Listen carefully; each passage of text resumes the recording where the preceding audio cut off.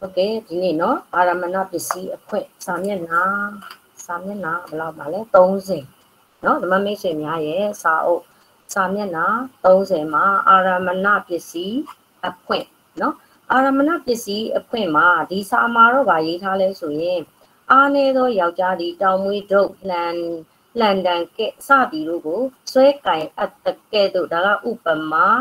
အာရမတိကဖြစ်သောစိတ်စေတသိက်တရားတို့သည်ဆွဲကင်အပ်သောကြောင့်အာယုံ6ပါးတို့သည်အာရမဏမြေဤဒါကဥပမေယပေါ့နော်အဲ့တော့ဆွဲကင်ခြင်းဟူသည်တဲ့နော်နောက်ထပ်ဆွဲကင်ခြင်းဆိုတော့ပြောတယ်ဆွဲကင်ခြင်းကိုစိတ်စေတသိက်တို့သည်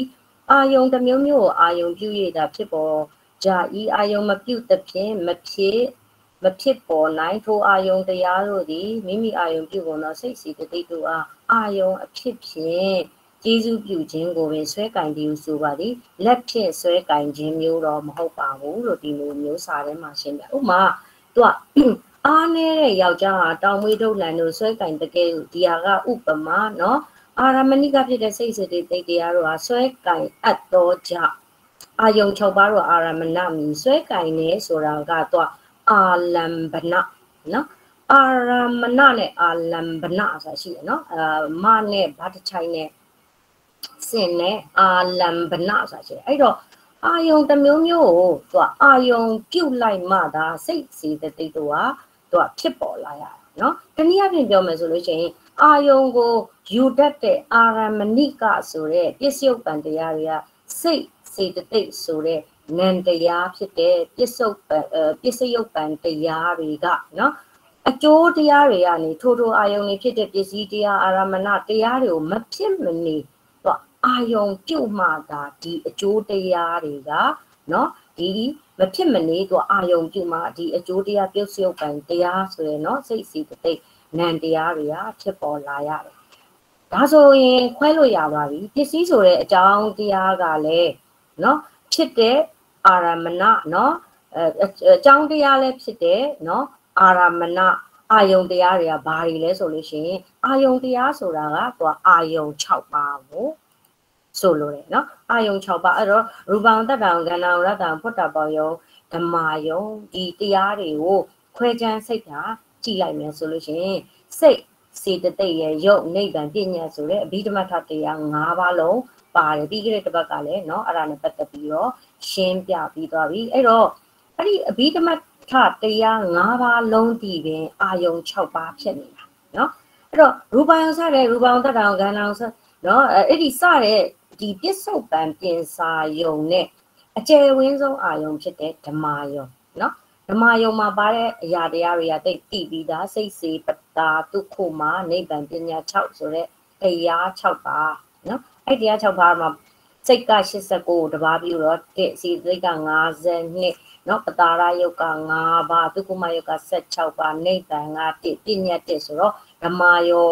ကိုပေါင်းလိုက်ရင်အလုံးတော့86ပါးတော့ တရားတွေပါဝင်တယ်အဲ့86ပါးတရားဆိုတာအလွန်ကျယ်ဝန်းတယ်ပစ္စည်းဆိုတဲ့အကြောင်းတရားတွေနဲ့ပစ္စယုတ်တန်ဆိုတဲ့အကြောင်းတရားတွေကိုဒါဆိုရင်ခွဲကြည့်အောင်เนาะကြည့်မယ်เนาะတင်းကြိုဒီပကိန်းပိုင်းကိုပြန်လေ့လာထားကြเนาะအဲ့မှာဟိုဟာပေါ့အာရမဏသင်္ကဟာပေါ့เนาะအဲ့တော့ စာမျက်နှာဒီဟိုဟာပေါ့ဒီစာအုပ်မှာစာမျက်နှာဘယ်လောက်မှာလဲသူဒီပစ္စည်းနဲ့ပစ္စည်းကိုအာစာမျက်နှာအာရမဏကဘယ်မှာပါလဲဆိုရင်အချက်ပိုနှစ်မှာပါတယ်เนาะငါးမှာပညာနံယုတ်ဒီနံအားနှစ်ပစ္စည်းဆိုတာရှိတယ်အဲ့နောက်ဆုံးလေးမှာကြည့်ကြည့်ရင်အာရမဏဆိုတာတော့ဒီဘက်ကပစ္စည်းတရားကအလုံးစုံသောစိတ်89 52ယုတ်28နိဗ္ဗာန်ပညာဟိုကဘက်ကပစ္စည်းယုတ်တန်ကစိတ်89စေတသိက် 52ဆိုပြီးဒီလိုပြထားတာရှိတယ်ပေါ့နော်မမေ့ဆွေများလည်းအဲ့တော့ပစ္စည်းဒီဘက်ကအကြောင်းတရားကအဲ့ဒီခုနကပြောလိုက်တဲ့အလုံးစုံသောစိတ်နော်89စိတ်တသိက်52ရုပ်28နိဗ္ဗာန်ပြည့်ညတ်ဆိုတာဒါပရမတ္ထတရားအလုံးကိုပြောလိုက်တာပဲမဟုတ်ဘူးလားအဲ့တော့အဲ့ရဲ့အောက်ကလေးမှာအာယုံ6ပါးပေါ့နော်ဒါအာယုံ6ပါးနော်အဲ့တော့ ဒီဘက်ကအကျိုးပြည့်စရုပ်ပံမှာတော့သူကစိတ်စီတသိက်ဆိုတဲ့နံတရားတွေကိုရတယ်နော်နံတရားစိတ်စီသိက်ဆိုတော့စိတ်က89စီတသိက်က52ဒါပဲရတယ်အဲ့တော့နော်ဥပမာပေါ့ဥပမာရူပါယုံရုပ်ပေါ့နော်သူဘလိုမျိုးအမ်ဘယ်လိုမျိုးသူ ကျေစုပြုလဲပေါ့နော်ရူပါယုံရုပ်ပေါ့ရူပါယုံရုပ်ဆိုရင်ရူပါယတနာဟလားရူပါယတနာစက္ကုဝိညာဏတာတို့ရာဒီလိုသွားတယ်မလားအဲ့တော့ရူပါယုံရုပ်ကနော်ဒီဘက်ကအကျိုးတရားကဘာရှိလဲဆိုတော့စက္ခုဝိညာဉ်တွေနော်စက္ခုဝိညာဉ်တွေနဲ့သူ့ရဲ့ရှင်ဘက်စေတသိက်ဖြစ်တဲ့နော်တပ္ပစိတ်တတာတာရဏခုနှစ်ပါးတို့ကိုယူပါယုံရုပ်နော်ယူပါယတနာက အဲ့အာယုံနဲ့အစွမ်းနဲ့မြင်ခြင်းကိစ္စကိုပြီးမြောက်အောင်ဂျေဇုပြုတယ်နော်ပြန်ပြောပြအောင်မယ်ဒီဘက်ကပစ္စည်းဖြစ်တဲ့ယူပါယုံယုံယူပါယတနာပေါ့နော်ယူပါယတနာကဒီဘက်ကအကျိုးတရားဖြစ်တဲ့စက္ခုဝိညာဉ်တွေနော်အကျိုးတရားဖြစ်မဲ့စက္ခုဝိညာဉ်တွေနဲ့သူနဲ့ရှင်ဘက်နော်စေတသိက်တွေဖြစ်တဲ့တပ္ပစိတ်တသာဒါရဏ9ပါးနော်သူကအဲဒီအဲ့ဒီ စိတ်နဲ့စေတသိက်ပေါ့เนาะအမြဲတမ်းတံမြုပ်ဖြစ်နေတဲ့အဲเนาะစေတသိက်9ပါးတို့ကိုရူပါယုံယုတ်เนาะပြောတယ်ရူပါယတနာကအာယုံရဲ့အစွမ်းနဲ့နော်ဘာရဲ့အစွမ်းလဲဆိုလို့ရှိရင်သူ့ရဲ့ပစ္စယတတ္တိကအာယုံရဲ့အစွမ်းနဲ့မြင်ချင်းကိစ္စကိုတီးမြောက်အောင်ကျေးဇူးပြုတယ်ဒီလိုပဲသောတာယတနာကသောတာဝိညာဉ်တွေနဲ့တပ္ပစိတ်တာတာရာရဏ9ပါးပေါ့နော်နောက်ကာဏဝိညာဉ်တွေကလည်းပဲเนาะအဲ့ဒီလိုပဲပေါ့အဲ့ဒီအလုံးနဲ့အဲ့ဒီ ဒီအဲပြင်စာယုံပေါ့နော်နော်ရူပါယုံကနေစပြီးတော့ရူပါယုံတတံကန္နာဝရတံဖုတ္တပါယုံဆိုပြီးအဲ့ဒီအလုံးပြင်စာယုံရဲ့သူနော်အဲ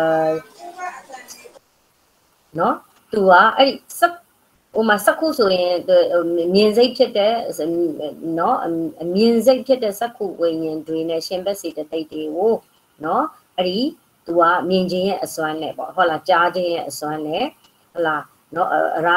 ရတာယုံဆိုရင်လည်းပဲအရာတာရဲ့အစွမ်းနဲ့ပေါ့ဒီလိုမျိုးသူကကျေးဇူးပြုတာဒီ၅ပါးပေါ့အဲ့တော့စက္ကုဝိညာဉ်စားတဲ့ပြင်စ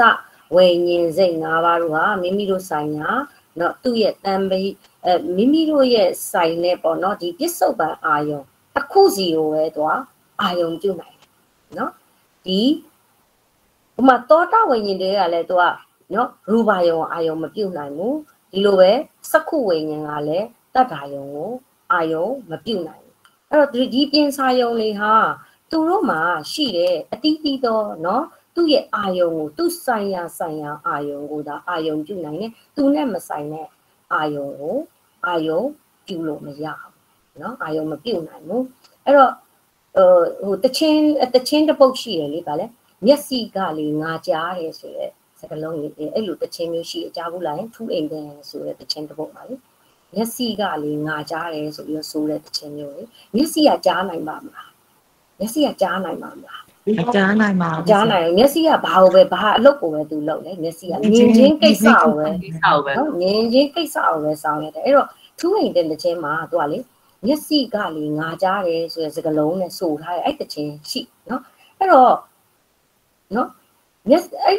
ကြားဖို့ကစားတော့နားမလဲဘူးနားမလဲဘူးတခါမှမျက်စိကနေအတန်ဖြစ်တဲ့တတ်တာယုံကိုအာယုံတခါမှကိုလည်းမရဘူးเนาะထူးအိမ်တဲ့တခြင်းကသူကလေအဲ့တခြင်းကအဲဘူတုတာပေါ့နော်အဲ့တော့ဒီ Vincent Van Gogh တန်းချင်းဆိုတဲ့တခြင်းပေါ့အဲ့ Vincent Van Goghက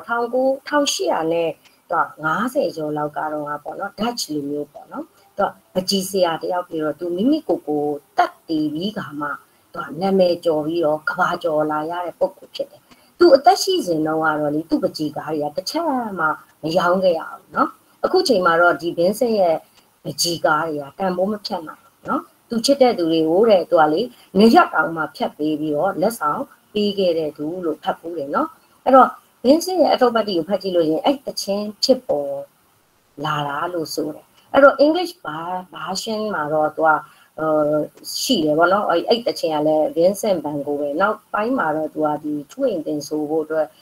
women ထွေးစကလုံး women ထွေးရနေပြီးတော့ women ထွေးရနေပြီးတော့သူကအဲ့ဟိုပေါ့ဟိုမြန်မာဘာသာပြန်ပြီးတော့တချင်းလေးကိုရေးလိုက်တဲ့ခါကျအရန်လူကြိုက်နေတာနော်အဲ့ထဲမှာသူကမျက်စိကလေးငါကြားတယ်ဆိုတဲ့စကားလုံးဘလို့ကြားတာလဲဆိုတာနားမလည်နိုင်ဘူးနော်ဒါမှလည်းအဲ့နားမလည်ပဲနဲ့ပဲလေဇွတ်တွေကြိုက်တာပေါ့နော်အဲ့တချင်းကိုလေအဲ့ ဘင်းစင်ကသူရေးခဲ့တဲ့ပကြီးပေါင်းပကြီးကားပေါင်းအာ2000ကျော်လောက်ရှိတယ်တဲ့နော်အဲ့မှာလေဒီ potato eater ဆိုတဲ့အာလူးစားသူတွေရဲ့အဲအဲမျက်နာဆိုတဲ့အာလူစားသူတွေရဲ့ပကြီးကားဆိုတာအဲ့တော့အဲ့မှာပါလဲဆိုတော့ရိုးသားတဲ့လယ်သမားတွေရဲ့နော်သူတို့ရှာဖွေစားတော့ရပုံလေနော်သူစားတာအာလူပဲစားရတယ်ပေါ့ပါသူတို့ရဲ့ဘဝတွေကိုနော်အဲ့ဒီပကြီးကားချက်ကြီးကပြောပြနေတယ်လို့အဲ့ပကြီးကားကိုကြည့်လိုက်လို့ရှိရင်လေ အဲ့ပကြီးကကြက်ရဲ့မထဲမှာပြောနေတဲ့စကလုံးတွေကကြားနေရတယ်လို့ပြောတာအဲ့ဒါကြောင့်သူကကြည်ရင်းနဲ့ကြားရအောင်နေရလေသူကမျက်စိရနေငါကြားတယ်လို့ဒီလိုမျိုးအာလူစားသူတွေရဲ့မျက်နာရေးဆိုပြီးအဲ့လိုရေးတာဒီတော့တကယ်ပစ္စုပန်လက်တွေ့မှာကြတော့မျက်စိကရူပါရောပဲတွေ့နိုင်မှာပေါ့မျက်စိကကြားတယ်ဆိုတာနော်စဉ်းစားကြည့်မိတော့မှဩကြားရောင်လာတာဖြစ်လို့အဲ့ကြားရောင်လာပါလဲလို့တကယ်တမ်းစဉ်းစားကြည့်ဒါဓမာရောနော်ဓမာရောလေ အာယုံယူပြီးတော့တွေးပြီးတော့မှစဉ်းစားပြီးတော့မှ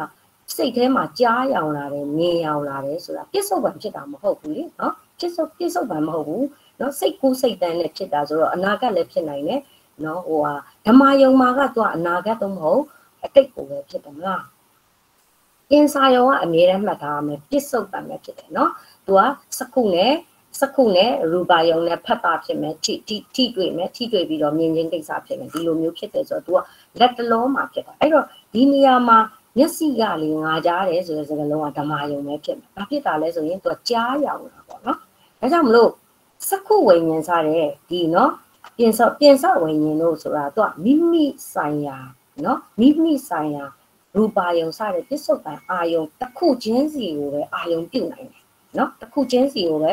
အာယုံပြုတ်နိုင်တယ်အဲ့တော့မိမိတန်တာမှာဒီစိတ်၅ပါးအပြင်အတိအနည်းဆုံးဖြစ်တဲ့မနောတတ်၃ပါးနဲ့ရှင်တဲ့စေတသိက်10ပါเนาะ10ပါ10ပါဆိုတာဘာကိုပြောဆိုတပ်အဲတဟိုဟာလေတပ်ပ9ပါးရဲ့เนาะဝိတဝိဇာရအဒီမောက္ခရေပေါ့เนาะအဲ့ဒီ10ပါเนาะအဲ့10ပါအဲ့တော့အဲ့10ပါသူတို့ကဘာလဲဆိုလို့ရှိရင်သူကမနောဓာတ်เนาะ မနောဓာတ်မနောဓာတ်စိတ်တို့ပတ်ပေါ့အဲ့တော့စိတ်နဲ့စေတသိက်အပေါင်းအစုတို့ကရူပါယုံစတဲ့နော်ပြင်စာယုံကိုအာယုံပြုတ်ပြီးမှဖြစ်ရလို့ဒီမနောဓာတ်စိတ်တို့ပတ်တို့ကလည်းရူပါယုံအဲ့လိုစတဲ့အာယုံ၅ပါးလုံးကအာရမဏတတ္တိနဲ့ခြေပြစုပြုတာဖြစ်တယ်နော်ဒါကိုပါဠိတော်မှာတော့ရူပါယတနံတတ္တာယတနာ နော်တတ္တာယတနာကန္နာယတနာယတာယတနာဖုတ္တဘာယနမနောဓာတုယ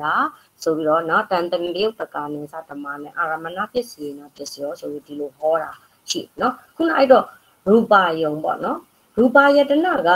မြင်သိစိတ်ဖြစ်တဲ့စက္ခုဝိညာဉ်တွေနဲ့နော်ရှင်ဘက်စေတသိက်ဖြစ်တဲ့တပ္ပစိတ်တသာဓာရဏခုနှစ်ပါးကိုနော်အာယုံဟူသောအစွမ်းဖြင့်မြင်ခြင်းကိစ္စကိုသူကပြီးမြောက်အောင် ကျေစုပြုခြင်းဖြစ်တယ်ဆိုတာကသူကနော်ရူပါယတနံစက္ခုဝိညာဏဓာတုယတန်တမြုပ်တကနိစ္စဓမ္မနံအာရမဏပစ္စယေနပစ္စယောလို့ဒီလိုပါဠိတော်မှာဟောထားတာဖြစ်တယ်အဲ့တော့တတ္ထာယနာကနာယရတနာပုတ္တကယအတူတူပဲပေါ့အဲ့တော့စိတ်ဆိုင်ရာဆိုင်ရာဝိညာဉ်စိတ်တွေနဲ့ရှင်ဘက်ဖြစ်တဲ့တပ္ပစိတ်တာသာသနာခုနှစ်ပါးကိုဆိုင်ရာအာယုံနေနဲ့ကျေစုပြုတယ်လို့ဒီလိုသိရမယ်เนาะနောက်တစ်ခုကကြတော့ပါလဲဆိုရင် တပ်ပေဓမ္မမနောဝိညာဏဓာတုရစတဲ့ဒီပါဠိတော်မှာကြတော့သူကခုနပြောခဲ့တဲ့ဂေတင်စဝိညာဉ်10ပါးနဲ့မနောဓာတ်3ပါးကိုစိတ်88ပါးတွေကနေပြီးတော့ကျင်လိုက်နော်ခုနပြောခဲ့တဲ့ဒွေ30နဲ့မနောဓာတ်3ပါးကို89ပါးတွေကကျင်လိုက်ရင်ကျန်တဲ့စိတ်က86ပါးအဲ့ဒါကမနောဝိညာဏစိတ်86ပါးပေါ့ အဲ့ဒီစိတ်ကကြတော့အလွန်တရာကျေပြန့်တဲ့စိတ်အရာကျေတဲ့စိတ်တွေပေါ့နော်အဲ့ဒီစိတ်တွေဖြစ်တဲ့အတွက်ကြောင့်မလို့ तू ကပြင်စာယုံကိုသာမကပဲနဲ့ဓမ္မယုံကိုလည်းတိုးပြီးတော့ထိုက်တဲ့လို့အာယုံ6ပါးလုံးကို तू ကအာယုံပြုတ်နိုင်တယ်တဲ့နော်အဲ့တော့အာယုံ6ပါးလုံးရဲ့ကျေးဇူးပြုခြင်းကိုခံရတယ်ဒီမနောဝိညာဉ်မနောဝိညာဉ်စိတ်နော်86ပါးကိုပဲမနောဝိညာဏဓာတ်ဒီလို ခေါ်တာအဲ့တော့တပ်ပေဓမ္မာဆိုတာအလုံးစုံသောတရားဆိုတာအာယုံ6ပါးတို့ဒီပေါ့နော်ဆိုတော့မနောဝိညာဏဓာတ်တို့ရာစအာယုံကိုပိုင်းခြား၍အထူးတည်သောစိတ်နော်အဲ့တော့မနောဝိညာဏဓာတ်အားဖြင့်၎င်းထိုမနောဝိညာဉ်ဝိညာဉ်ဓာတ်နဲ့ရှင်ဘက်စီတသိက်တရားတို့အား၎င်းပေါ့နော်အဲ့တော့အာရမဏပစ္စယေနာပစ္စယောအာရမဏတတ္တိနဲ့ကျေစုပြုတယ်လို့ဒီလိုဟောတာ ဖြစ်ပါတယ်နောက်တစ်ခါ तू ကပါဠိတော်မှာယံယံဓမ္မအာရဘဆိုတာရှိတယ်နော်ယံယံဓမ္မအာရဘဆိုတာရှိတယ်အဲ့တော့ဒီမှာစာမျက်နှာ30မှာကြည့်ကြည့်နော်သူကအကျဉ်သဘောတရားတို့သည်စိတ်စေတသိက်တို့အားအာယုံအဖြစ်ဖြင့်ကျေးဇူးပြုကြကုန်သည်သာဖြစ်၏စိတ်စေတသိက်တို့အားအာယုံအဖြစ်ဖြင့်ကျေးဇူးမပြုသောတရားမည်ဒီမရှိ သောကြောင့်ယံယံဓမ္မအာရဘဟုဟောတော်မူသည်လို့ပြောနော်အဲ့တော့ယံယံဓမ္မအာရဘရဲ့အတိတ်ပဲပေါ့နော်အကျဉ်သဘောတရားတို့ဒီဆိုတာကယံယံဓမ္မရဲ့အနက်မှာကြည့်လို့ရှိရင်အကျင့်အကျင့်သို့သောအာယုံ6ပါးပစ္စည်းတရားတို့ကိုနော်အာရပဆိုတာအာယုံပြု၍နော်နော်စိတ်စေတနော်စိတ်တစေတတိကဓမ္မစသဖြင့်နော် အဲ့တော့စိတ်စေတသိက်ပစ္စုပန်တရားတို့ကိုဒီအာယုံ6ပါးပစ္စည်းအကြောင်းတရားတို့ဟာအာရမဏတတ္တိနဲ့ခြေစုပြုတယ်လို့ဒီလိုဟောတာနော်အဲ့ဒီရဲ့နောက်ဆုံးပိုက်လေးမှာရှိတဲ့ယံယံဓမ္မအာရပဆိုတဲ့အပိုက်ကရှေ့မှာ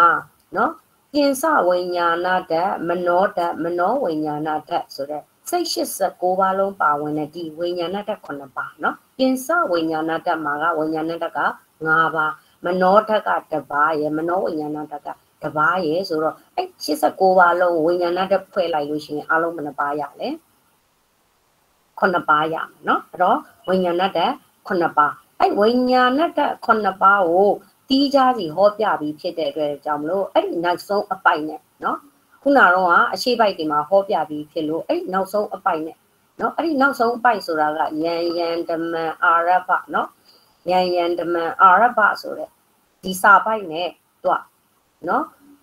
တိမ်ကျုံစုပေါင်းပြီးတော့အာရမဏပစ္စည်းတရားအာရမဏိကပစ္စယုတ်ကံတရားဖြစ်ပုံလေးကိုသူကဟောပြလိုက်ခြင်းအပြင်စိတ်စေတသိက်တို့ရဲ့နော်အာရမဏပစ္စည်းအဖြစ်တို့မရောက်နိုင်တဲ့တရားဆိုတာမရှိကြောင်းနော်အာယုံတရားတွေကို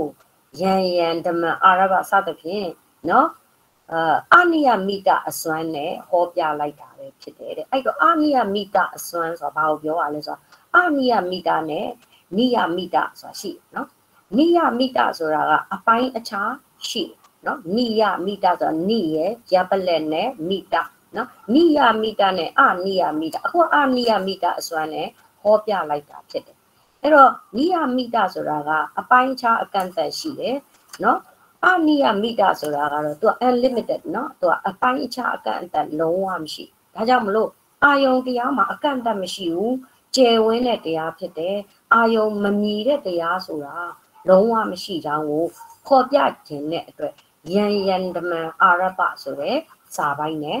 နော်ဒါသူကပေါ်ပြလိုက်တာဖြစ်တယ်အဲ့တော့ဓမ္မမိတ်ဆွေများအဲ့ဒီယန်ယန်ဓမ္မအာရဘဆိုတဲ့အဲဟိုဟာလေးကို star လေးပြတာနော်အကယ်၍များနော်ဒီအာယုံမမီတဲ့တရားရှိသလားအာယုံမမီတဲ့တရားဟာ အဲအာယုံမမီတဲ့တရားတွေမရှိဘူးဆိုတာကိုဘယ်လိုအပိုင်းခြားနဲ့ဟောထားသလဲလို့ပြောရင်ယန်ယန်ဓမ္မအာရဘဆိုတဲ့စာပိုင်းနဲ့နော်ပါဒီပါဠိစာပိုင်းနဲ့အဲတက်နိုင်ရင်တော့ယန်ယန်ဓမ္မအာရဘကိုတခါတည်းပါဠိပါအဆုံးထိရေးချပေးလိုက်ပြီးတော့မှဒီအခုစာသားမြန်မာလူစာသွားလေးကိုရေးပေးလိုက်ဒါလေးကမေးတတ်တဲ့အထဲမှာလည်းပါတယ်ပေါ့နော်အဲ့တော့ तू က ဘာအစွမ်းနဲ့ဟောတဲ့ရုံးလို့ဆိုရင်ဓမ္မမိတ်ဆွေများအနာလေးမှာမှတ်ထားပါအနိယမိတဆိုတဲ့အစွမ်းနဲ့နော်အနိယမိတအစွမ်းနဲ့ဟောပြလိုက်တာဖြစ်တယ်အနိယမိတအစွမ်းဆိုတာဘာအစွမ်းလဲဆိုရင်အပိုင်းအခြားအကန့်အသတ်မရှိဒါကြောင့်မလို့အာယုံတရားမှာဆိုရင်အပိုင်းအခြားအကန့်အသတ်မရှိဘူးအလွန်ကျယ်ဝန်းတဲ့တရားဖြစ်တယ်ဒါကြောင့်အာယုံမမြည်တဲ့တရားဆိုတာမရှိเนาะအဲ့တော့ပရမထတရား၅ပါးလုံးဟာ အာယုံတရားထဲမှာအာယုံမြည်တယ်အာယုံတရားတွေဖြစ်တယ်ပေါ့เนาะဒီမှာမျိုးစင်ရရဲ့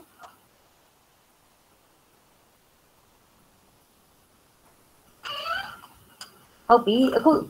သိခဲ့တဲ့เนาะစကလုံးတွေထဲမှာเนาะဆိုလို့ရှိရင်เนาะအာရမဏအာလမ်ဘနနော်အာရဘဆိုတဲ့စကားလုံးတွေနော်တွေ့ရတယ်နော်ပြန်ပြောပြအောင်မယ်အခုဒီအာရမဏမှာ လေ့လာလိုက်တဲ့အခါမှာအာရမဏအာလမ်ဘနအာရဘဆိုတဲ့စကားလုံးတွေဒီလိုလေးတွေတွေ့ရတာရှိတယ်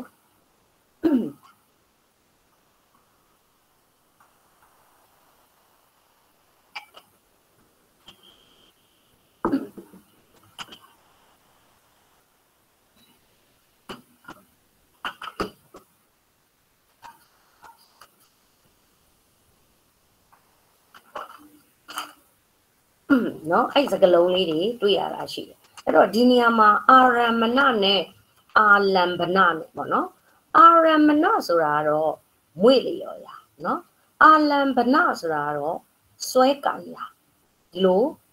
ဟိုအနက်မှာတော့ဒီလိုဖွင့်တယ်ပေါ့နော်အဲ့နှစ်ပုတ်က तू ကဘာထူးတော့လို့မေးလို့ရှိရင်အဲ့နှစ်ပုတ်က तू ကတဘာဝထဖြစ်တဲ့အာယုံဆိုတဲ့တဘာဝအနက်အချင်းကတော့တူညီကြတယ်နော် တတထဆိုတဲ့အတန်ပဲကွဲတာနော်အာလံပနနဲ့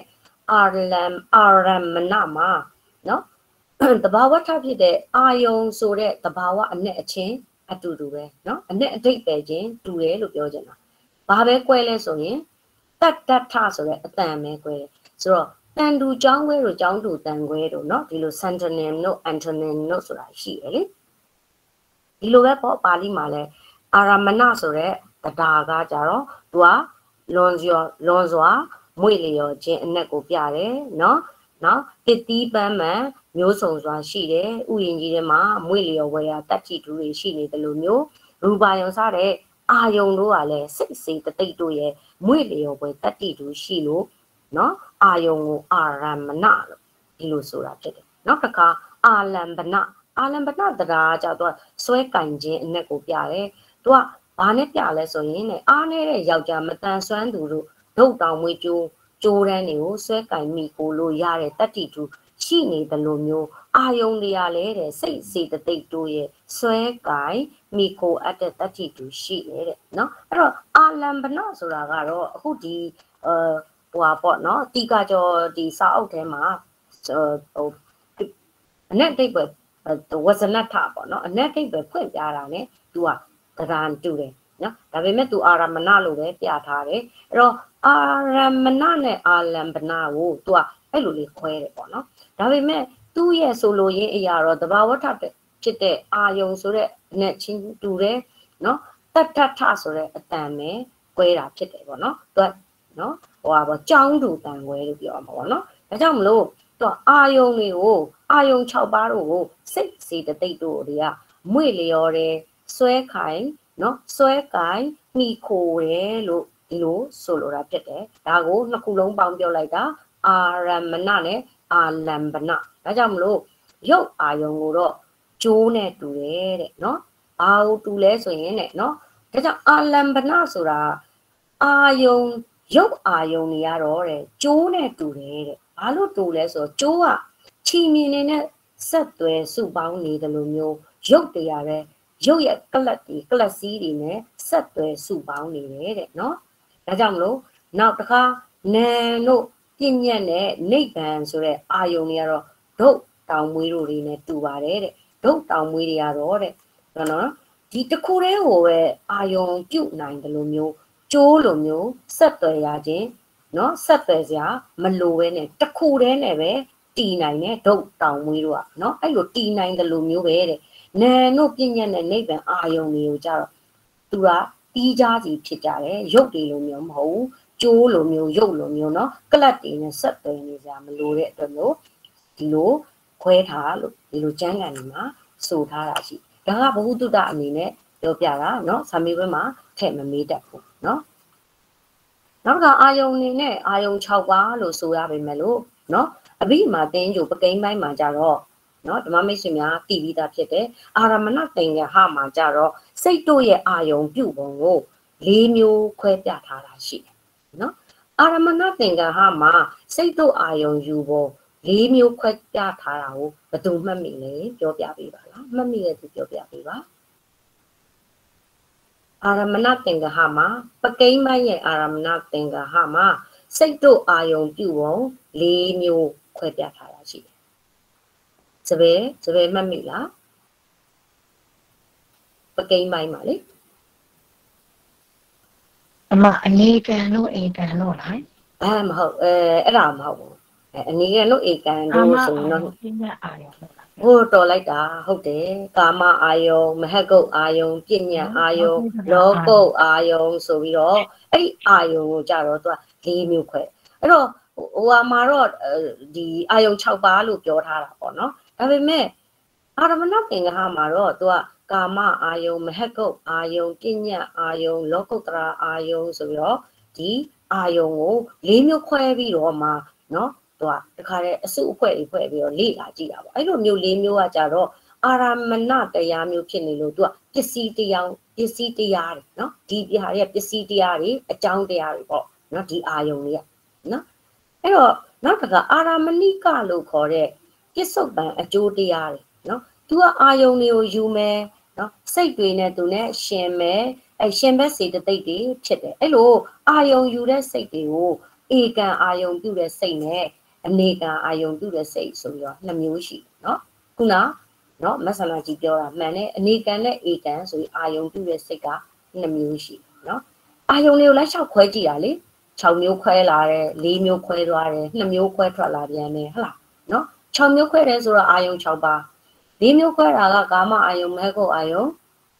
ပညာအာယုံနဲ့လောကုတ္တရာအာယုံဆိုပြီးခွဲတာအခု2မျိုးခွဲတာဧကံအာယုံနဲ့အနေကံအာယုံဆိုပြီးခွဲပြန်တယ်เนาะအဲ့တော့အဲ့လိုအာယုံပြုတ်တဲ့ဧကံအနေကံအာယုံပြုတ်တဲ့စိတ်ဆိုပြီးတော့လေနှမျိုးကအဲ့ဒီအရာတွေကခုနပြောတဲ့၄ပါးပေါ့နော်၄ပါးကိုပြန်ခွဲလို့ရတယ်နော်ကာမအာယုံမှာပဲဧကံအနေကံရှိတယ်မဟကုတ်ပညာ နော်ကုန်ဒီဟာတွေကိုဘယ်ဟာတွေရဲ့အေကန်လဲဘယ်ဟာတွေလဲအနေကန်လဲဆိုတာဒီအာရမဏသင်္ကဟမှာပြောသွားပြီးသားနော်အဲ့တော့ကာမအာယုံကြည့်ကြည့်နော်နည်းနည်းလေးပြန်ပြီးတော့ recall လုပ်ကြည့်မယ်ပေါ့နော်အဲ့တော့ကာမ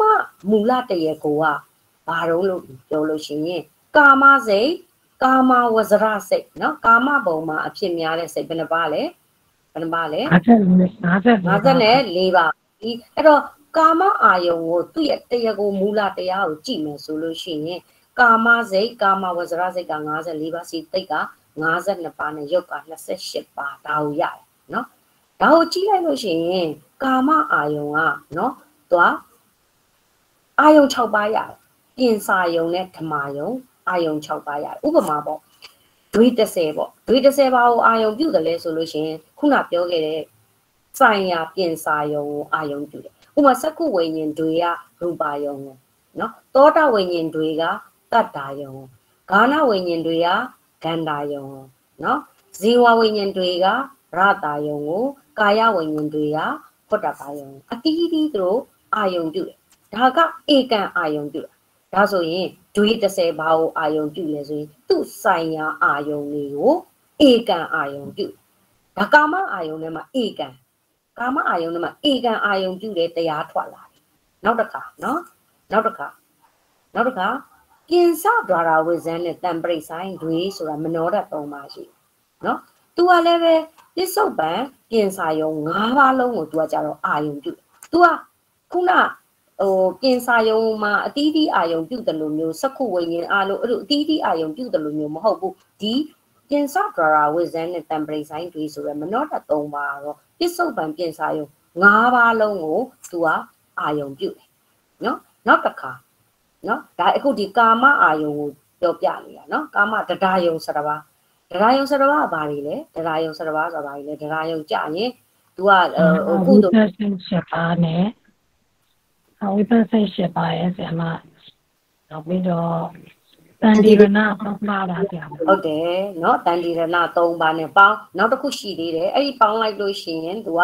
7ပါးเนาะအဲ့7ပါးရဲ့เนาะအဲ့တရားယုံ7ပါးရဲ့နောက် happy တုတ်ပတ်ဆိုတာရှိတယ်အဲ့ပေါင်း12ပါး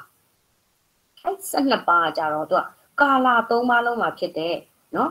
ကာမစိတ်52ပါးစေတသိက်52အဲကာကာမစိတ်54ပါးစေတသိက်52ပါးနဲ့ ရုပ်28ပါလို့ဆိုတဲ့ဒီအာကာမအာယုံ6ပါလုံးကိုသူကအာယုံအတီးတီးအာယုံပြုတယ်အဲ့တော့ဝိ30ရဲ့မနောဓာတ်3ပါးရဲ့ဒဒါယုံရဲ့ဟတိတုပ်ပရဲ့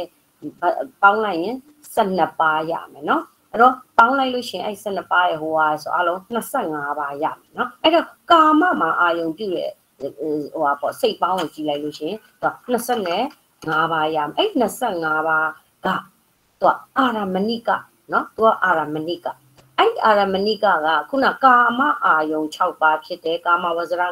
54နော်သူကအာအာယုံလေအာယုံလေနော်ပစ္စည်းတရားအနော်နောက်တော့အဲဟိုဟာ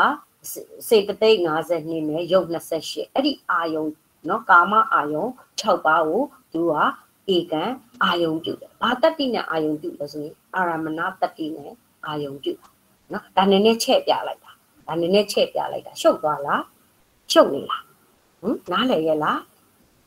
မြန်လားပြောတာမြန်နေလား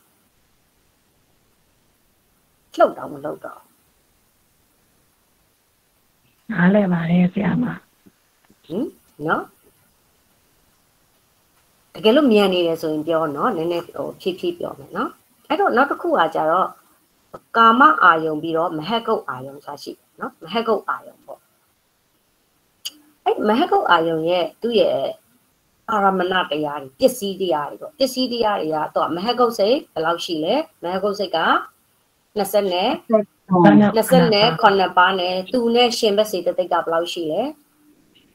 36 30နဲ့ 35 သူ ပါ အညာအဲ35เนาะအညာသမန်းစီတသိက်73ပါးနဲ့သောဗနာစီသိက်25ပါးဘောင်း38ထဲကနေဝိရတိမရှင်เนาะဝိရတိမရှင်တော့ဝိရ3ပါးကိုနှုတ်လိုက်တော့ဘယ်လောက်ကျန်လဲ 35เนาะအဲ့တော့မဟကုတ်မမဟကုတ်စိတ်28ပါးเนาะသူကရှင်နဲ့စိတ်က35ပါးအဲ့တော့အာယုံ6ပါးထဲမှာပြစ္ဆုတ်ပံပြင်စာယောမပါတော့စိတ်စေပတာတုခုမှာနိဗ္ဗာန်ပညာ6ဆိုတဲ့ခါကျတော့စိတ်နဲ့စေတသိက်ပါတဲ့ခါကျတော့ဒါဓမ္မယုံတရားပေါ့နော်ဒါဆိုရင်ဒီတရားကိုဘာလို့တတ်မှတ်မလဲဆိုရင်မဟကုတ်အာယုံမှာရှိတဲ့အာယုံတရားတွေကဓမ္မယုံပေါ့ဘာလဲဘာနဲ့ဘာနဲ့ပါလို့လဲ စိတ်နဲ့စေတသိက်နဲ့ပါလို့နော်အဲ့တော့ဓမ္မယုံတရားထဲမှာပါတဲ့စိတ်စေပတာတုခုမှာနိဗ္ဗာန်ပညာ6ဆိုတဲ့တရား6ပါးထဲမှာစိတ်နဲ့စေတသိက်နဲ့ပါတာဖြစ်တဲ့အတွက်ကြောင့်မလို့စိတ်ကိုလည်းဓမ္မယုံလို့သတ်မှတ်ရမယ်စေတသိက်ကိုလည်းဓမ္မယုံလို့သတ်မှတ်ရမယ်ဟုတ်လားပတာရယုံငါကိုလည်းဓမ္မယုံလို့ပဲသတ်မှတ်ရမယ်သူခုမှလည်း16ပါးကိုလည်းဓမ္မယုံလို့သတ်မှတ်ရမှာဆိုတဲ့အခါကျတော့ဒီမှာမဟကုတ်အာယုံဖြစ်တဲ့เนาะစိတ် မဟကုတ်စိတ်28ပါးနဲ့ရှင်ဘက်စေတသိက်35ပါးစိတ်နဲ့စေတသိက်ပါတာဖြစ်တဲ့အတွက်ဒါဟာဓမာယုံနေဖြစ်တယ်နော်ဓမာယုံနေဖြစ်တယ်အဲ့တော့သူ့ကိုဧကံရှာကြည့်နော်ဧကံပါအာယုံပြုတာလဲဆိုလို့ရှိရင်အရူပဝဇရစိတ်နှစ်ပါးဖြစ်တဲ့နော်ဝိညာဉ်ဉ္စာယရဏကုသိုလ်ဝိဘက်ကရိယာ၃ပါးတော့နော်အတိတ်ကဖြစ်ခဲ့တဲ့ तू က နော်အာဂတဉ္စာယရဏကုသိုလ်ကရိယာကို तू အာယုံပြုတယ်ဟုတ်လားဟုတ်တယ်မလားနော်ဒါဧကန်နော်ဧကန်နော်ဧကန်ပြန်ပြောပြအောင်မယ် तू ကအရူပဝဇရစိတ်နှစ်ပါးဖြစ်တဲ့နော်ပထမတစ်ပါးကဝိညာဉ်နဲ့စာယရဏနော်ဝိညာဉ်နဲ့စာယရဏဒုတိယတစ်ပါးကနေဝတင်ညာနာတင်ညာယရဏအဲ့ဒီနှစ်ပါးနော်အဲ့ဒီနှစ်ပါးပထမတစ်ပါးဖြစ်တဲ့နော် ဝိညာဉ်နဲ့စာယတနာကုသိုလ်ဝိဘက်ကရိယာဆိုတဲ့စိတ်၃ပါးတို့ကအတိတ်ကဖြစ်တဲ့အာကာသနဲ့စာယတနာဆိုတဲ့ကုသိုလ်ကရိယာတို့ကိုအာယုံပြုတယ်တခါနေဝတင်ညာနာတင်ညာယရဏဧကံနော်သူလည်းပဲကုသိုလ်ဝိဘကရိယာဒီသုံးပါးတို့ကအတိတ်ကဖြစ်တဲ့အာကိစညာယတနာကုသိုလ်ကရိယာတို့ကိုအာယုံပြုတယ်မဟုတ်ဘူးလားဟုတ်တယ်မလားအဲ့လိုအာယုံပြုတယ်မလားဒါဧကံလေနော်ဒါဧကံ သူလည်းပေါင်းလိုက်ရင်6ပါးနော်အဲ့တော့6ပါးသောစိတ်တို့ဟာပေါ့6ပါးသောစိတ်တို့ဆိုတာကုသိုလ်ဝိဘကရိယာကုသိုလ်ဝိဘကရိယာဆိုတော့အဲ့ဒီ6ပါးသောစိတ်တို့ဟာမဟကုတ်အာယုံဧကံပြုတယ်ဒါဆိုရင်မဟကုတ်ကိုဧကံအာယုံပြုတာဘယ်နှပါးရှိလဲ6ပါးနော်ခုနကာမကိုဧကံအာယုံပြုတာ25ပါးနော်25ပါးတကယ်လို့လေအခုပြောတာအရင်နားမလဲလို့ရှိရင်အာရမဏသင်္ကဟောက်နည်းနည်းပြန်ပြီးတော့လေပြန်နှွေးကြည့် နော်ဒါဆိုသူဒီဘယ်ဟာပစ္စည်းလဲဘယ်ဟာပစ္စည်းဥပ္ပန်တရားလဲဆိုတာဟိုအာရမဏပစ္စည်းအနေနဲ့နည်းနည်းပို့ပြီးတော့ချက်ချက်ထွန်းထွန်းနားလည်သွားမယ်နော်အဲ့တော့မဟကုတ်အာယုံမှာကြည်လိုက်လို့ရှိရင်မဟကုတ်မှာကကြတော့နော်အဲဧကံအာယုံပြတော့6ပါနောက်တစ်ခုနောက်တစ်ခုကပြညတ်အာယုံလို့ခေါ်ရနော်မသုံးရောက်လာပြီသုံးကပြညတ်အာယုံနော်ပြညတ်အာယုံဖြစ်တာပြညတ်ဆိုတော့ပြညတ်ကတဘာပဲပေါ့နော်သူကပစ္စည်းတရား အဲ့တော့ပြညတ်ကိုအာယုံပြုတာကနော်ရူပဝဇရကုသိုလ်ဝိဘက်ကရိယာ15ပါးလုံးကကတိုင်းပြညတ်26ပါးကိုနော်26ပါးကိုကတိုင်းပြညတ်ကိုနော်နောက်တစ်ခါအရူပဝဇရဖြစ်တဲ့အာကာသနဲ့စာယရဏကုသိုလ်ဝိဘက်ကရိယာ3ပါးကကောင်းကင်ပြညတ်ဟုတ်လားပြညတ်လေနော်ပြညတ်ကဘာတရားလဲပြညတ်ကဘာတရားလဲပစ္စည်းတရားနော်ပစ္စည်းတရား ရူပဝဇ္ဇကုသိုလ်ဝိဘကရိယာ15ပါးရဲ့အရူပဝဇ္ဇဖြစ်တဲ့အာကာသနဲ့စာယတနာကုသိုလ်ဝိဘကရိယာ3ပါးကပစ္စည်းယုတ်ပံတရားအဲ့တော့သူပညာကိုအာယုံပြုတာပညာကရောဘယ်တရားထဲမှာအာယုံ6ပါးမှာဘယ်ထဲမှာပါလဲပညာကအာယုံ6ပါးဘယ်ထဲမှာပါလဲဓမ္မယုံထဲမှာပဲပါဓမ္မယုံထဲမှာပဲပါတယ်နော်အဲ့တော့သူဒါဆိုရင်သူပညာကိုအာယုံပြုတယ်ပြောပေမဲ့သူဓမ္မယုံကိုအာယုံပြုထားတာပေါ့နော် အဲ့တော့ဧကံဧကံအလောနော်နောက်တစ်ခါနောက်တစ်ခုရှိသေးတယ်အာကိစညာယတနာကုသိုလ်ဝိဘက်ကရိယာဒီသုံးပါ तू ကနတ်ထီဘောပညာဟုတ်လားပညာတည်းကြီးတယ်ပဲလေနော် तू ကပထမကတိုင်းပညာ26ပါးကရူပဝဇရာစိတ်နော်ကုသိုလ်ဝိဘက်ကရိယာ15ပါးလုံးနော်အရူပဝဇရာဖြစ်တဲ့နော်အာဂတာနိသကုသိုလ်ဝိဘက်ကရိယာ3ပါးကကောင်းကင်ပညာဟင်ဟုတ်လားနော် အာကိစညာယတနာကုသိုလ်ဝိဘက်ကရိယာ3ပါးကကြတော့နတ်ထီဘောပညာသူပြည့်ညက်တွေကိုပဲအတီးတီးအာယုံပြုတာသူဧကံအာယုံပြုတာဆိုတဲ့အခါကျတော့ခုန15ပါးရဲ့ရူပဝဇရ15ပါးရဲ့အရူပဝဇရာ3ပါးရဲ့เนาะကုသဝိပဲလေကရိယာလေเนาะအာကိန်ရဲ့ဆိုတဲ့အခါကျတော့3ပါးရဲ့15ရဲ့3ရဲ့3ရဲ့ပေါင်းလိုက်တော့ဘယ်နှပါးဖြစ်မလဲ15ရဲ့3ရဲ့ဆို20နဲ့ကဲ20နဲ့အဲ့တပါးအဲ့21ပါးက ပြညတ်အာယုံကိုဧကံအာယုံပြပါဧကံအာယုံပြပါနော်နောက်တစ်ခါလောကုတ္တရာလောကုတ္တရာကကြတော့နိဗ္ဗာန်အာယုံနိဗ္ဗာန်ရဲ့အာယုံနိဗ္ဗာန်အာယုံဆိုနိဗ္ဗာန်ရဲ့တရားကိုပောက်ကြည့်လိုက်လို့ရှိရင်လောကုတ္တရာစိတ်၈ပါးရဲ့သူနဲ့ရှင်နဲ့စိတ်တိတ်ဘယ်နှပါးရှိမလဲလောကုတ်စိတ်နဲ့ရှင်နဲ့စိတ်တိတ်ဘယ်လောက်ရှိမလဲ36ပါး36ပါးဘာနဲ့ဘာနဲ့ကျင်လိုက်လဲအပ္ပမညာနှစ်ပါးဟုတ်တယ်နော်အပ္ပမညာနှစ်ပါးကိုကျင်လိုက်မယ်နော် မှာလေနော်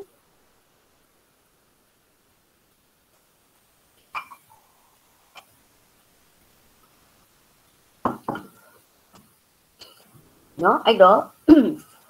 အပ္ပမညာနှစ်ပါးကိုကျင်လိုက်တယ်ကျင်လိုက်တဲ့အခါကျတော့38ပါးက36ပါးတော့เนาะအညာသမန်73ပါးနဲ့သောဗနာစိတ်25ပါးเนาะဘောင်း38ပါးတွေကနေတော့အပ္ပမညာနှစ်ပါးကို ကျင်လိုက်သူမရှင်ဘူးလေလောကုတ်ရှင်ပါเนาะလောကုတ်စိတ်8ပါးမှာမရှင်တဲ့အတွက်ဖေလိုက်တော့36ပါးเนาะဒါနိဗ္ဗာန်ဆိုတဲ့နိဗ္ဗာန်အာယုံရဲ့တရားကိုကောက်လိုက်လို့ရှိရင်လောကုတ်စစ်နဲ့လောကုတ်စိတ်၈ပါးနဲ့စေတသိက်36ပါးရတယ်နော်အဲ့တော့နောက်ဘာထပ်ရမလဲဆိုနိဗ္ဗာန်ရနော်အဲ့ဆိုသူကအရာတရား၃မျိုးရမယ်လောကုတ်စိတ်၈ပါးရဲ့စေတသိက်36ပါးရဲ့နိဗ္ဗာန်ရဲ့ ် နော်သူကသူကပစ္စည်းတရားအဲ့တော့အာရမဏိကစိတ်ဖြစ်တဲ့နော်အာရမဏိကဆိုတာအကျိုးတရားတွေဖြစ်တဲ့မက်စိတ်၄ပါးကိုစိတ်၄ပါးဘောင်း၈ပါးသောလောကုတ်စိတ်တို့ဟာအဲ့ဒီကာလဝိမုတ်ဖြစ်တဲ့နိဗ္ဗာန်ကိုအာယုံပြုဒါဧကံအာယုံပြုတာနော်တခြားစိတ်တွေအာယုံပြုနိုင်လို့လားအာယုံမပြုနိုင်ဘူးဒီမက်စိတ်ဖို့စိတ်တို့ကသာလျင်နိဗ္ဗာန်ကိုဧကံအာယုံပြုနိုင်တာဖြစ်တယ်အဲ့တော့ ဒါအေကန်ကိုနည်းနည်းလေးဟိုအသေးစိတ်လေးပြောလိုက်တာပေါ့နော်အဲ့တော့အနေကန်ကိုတော့ခြုံပြောမယ်အနေကန်ကိုခြုံပြောတဲ့အခါမှာအနေကန်ကအနေကန်ကိုယူတဲ့အခါမှာစိတ်89နော်စေတသိက်52ရုပ်28နိဗ္ဗာန်ပညာဆိုတဲ့ခုနပရမတ္ထတရားအလုံးတရားတွေကိုနော်နော်စိတ်ပေါင်းဘယ်လောက်ရှိမလဲဆိုစိတ်ပေါင်းက32ပါးကအနေကန်အာယုံပြုတာအနေကန်အာယုံပြုတဲ့တရားစိတ်က32ပါးရှိတယ်ပြီးရင် စိတ်89ပါးရအောင်ဧကံအနေကံအကုန်လုံးပြန်ပြီးခြုံပြမယ်နော်အဲ့တော့30နဲ့တပါးမှာနော်30တပါးမှာဘာပါရလဲဆိုရင်မဟာကုသိုလ်နော်ကုသိုလ်မဟာကုသိုလ်ကရိယာညာတန်၄ပါးစီထားပြီးတော့နော်၄ပါးစီနော်၄ပါးစီပါထားပြီးဖြစ်တဲ့အတွက်ကြောင့်မလို့နော်သူက၄ပါးစီပါထားပြီးပြီ ဖြစ်တဲ့အတွက်ကြောင့်မလို့အဲ့ဒီမှာအဘိညာဉ်တွေးဖြစ်တဲ့နော်မဟာကုသိုလ်ညာတန်နဲ့မဟာကရိယာညာတန်ဆိုတဲ့ညာတန်နှစ်ပါးကိုအပိန်ရင်တွေးလို့ခေါ်တာမလားအဲ့နှစ်ပါးကိုပြန်နှုတ်လိုက်ရင်အလုံး29ပါးရမယ်နော်အဲ့တော့လောကုတ်ခုနတော့ကလောကုတ်တရာရဲ့အနေကံက17ပါးနော်လောကုတ်တရာ17ပါးနဲ့ ပြန်ပြီးတော့ပေါင်းကြည့်မယ်ကာမဧကံကပြန်ပေါင်းကြည့်မယ်ကာမဧကံကခုန25ပါပြညတ်ဧကံက21ကဲကူပေါင်းပေးပါအောင်ဒီမှာမေ့ရှိနေရယ်နော်ခုနပြောခဲ့တဲ့ကဲမှာကာမဧကံက25ပါပြညတ်ဧကံက21ပါမဟကုတ်ဧကံကဧကံက6ပါ6ပါနော်6ပါလောကုတ္တရာဧကံက10ပါ10ပါခဏလေးနော်ခဏလေးဒီမှာတယောက်ဝင်ပါတယ်ဟုတ်ပြီ အဲ့တော့လောကုတ္တရာဧကံကဘယ်နှပါလဲ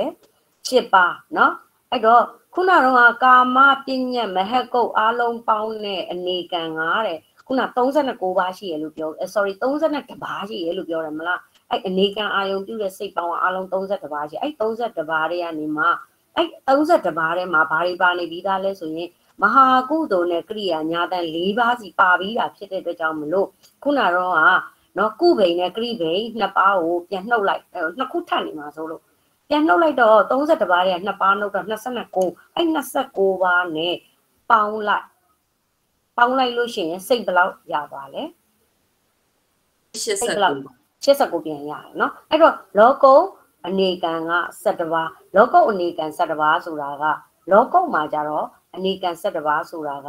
ဘာတွေလဲဆိုလို့ရှိရင်เนาะမနောဓာရဝင်စမ်းရဲ့ ခုနတော့မဟာကုညာတန်လေးရမဟာကရိညာတန်လေးရအဘိညာဉ်တွေရဆိုပြီးတော့ထည့်ပေါင်းပြီးတာဖြစ်လို့လောကုအနေကံက7ပါးဖြစ်တာအဲ့တော့စိတ်တွေတွေကအနေကံ32ပါးမှာပါပြီးဖြစ်တဲ့အတွက်ကြောင့်မို့ခုနကထည့်တွက်စရာမလိုဘူးလို့အဲ့လိုပြောလိုက်တာနော်ဒါကအာရမဏသင်္ဃဟကိုထောက်ပြီးတော့မှအာရမဏနဲ့အာရမဏိကတွေကိုနော်အသေးစိတ်ပြန်ရှာပေးထားတာနော်ဒါဘယ်မှာပဲရှိလဲဆိုရင်အာရမဏသင်္ဃဟ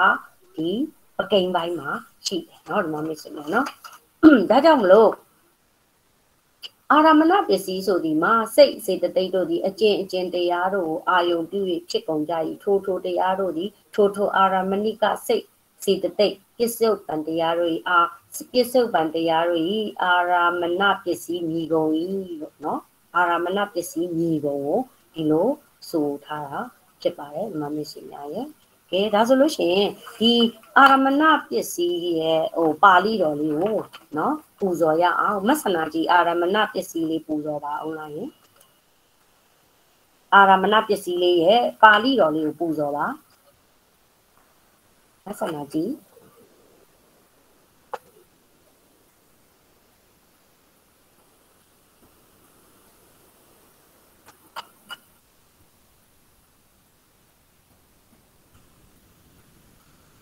ဓမ္မကြီးအတန်ကြီးပိတ်ပြီးပြောနေနေတာနားတွေထောင်းနေဒီကဟုတ်ကဲ့ရူပါယရဏံသကုဝိညာဏဓာတုယာတံတံပြုတ်တတာနေစဓမ္မနဲ့ပါရမဏပစ္စယေနပစ္စယောတတ္တာယရဏံသောတာဝိညာဏဓာတုယာတံတံပြုတ်တတာနေစဓမ္မနဲ့ပါရမဏပစ္စယေနပစ္စယော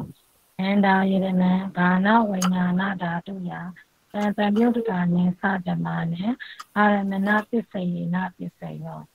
ရတ္တယရဏဇိဝဝိညာဏဓာတုယတံတံပြုတ်တကာနေသဓမ္မနေအာရမဏပစ္စယေနပစ္စယော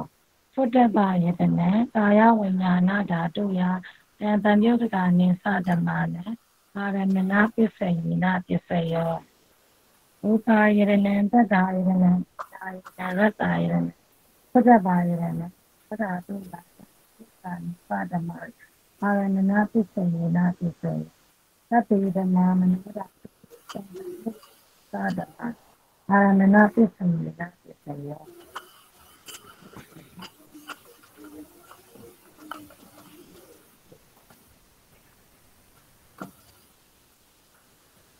ဒီမှာဉာဏ်ဉာဏ်ဓမ္မအာရမကြံရနော်ဉာဏ်ဉာဏ်ဓမ္မ အာရမအေယေဓမ္မဥပ္ပစ္စံတိသိတာစိတ်သိတာတိပါ ဒီတေဓမ္မတေတံတေတံဓမ္မနဲ့အာရမဏပစ္စယေနာပစ္စယော တာတို့တာတို့တာတို့ပါဟုတ်ပြီเนาะအဲ့တော့ဓမ္မမိတ်ဆွေများမှာလေဟိုဟိုစပေါ့ဒီ တင်းချိုအဲတင်းချိုဒီဟိုဟာမှာပါတဲ့လေဟိုဒီဟာကိုကြည့်ကြည့်လိုက်အောင်မယ်နော်အဲ့မှာပါတဲ့ဒီဟာဒီအဲ့စာမဟုတ်ဒီထဲမှာပါတဲ့ဒီတတိယစင်မှာဟိုဟာလေဒီအာရမဏပစ္စည်းပိုင်းဟိုဟာကြတော့လေအနက်နဲ့တင်းချိုပိုင်းမှာအနက်နဲ့တကွာဖော်ပြထားတာလာရင်ဥပမာပေါ့နော်အာရမဏပစ္စယောတိအာရမဏပစ္စည်းဟူသောကား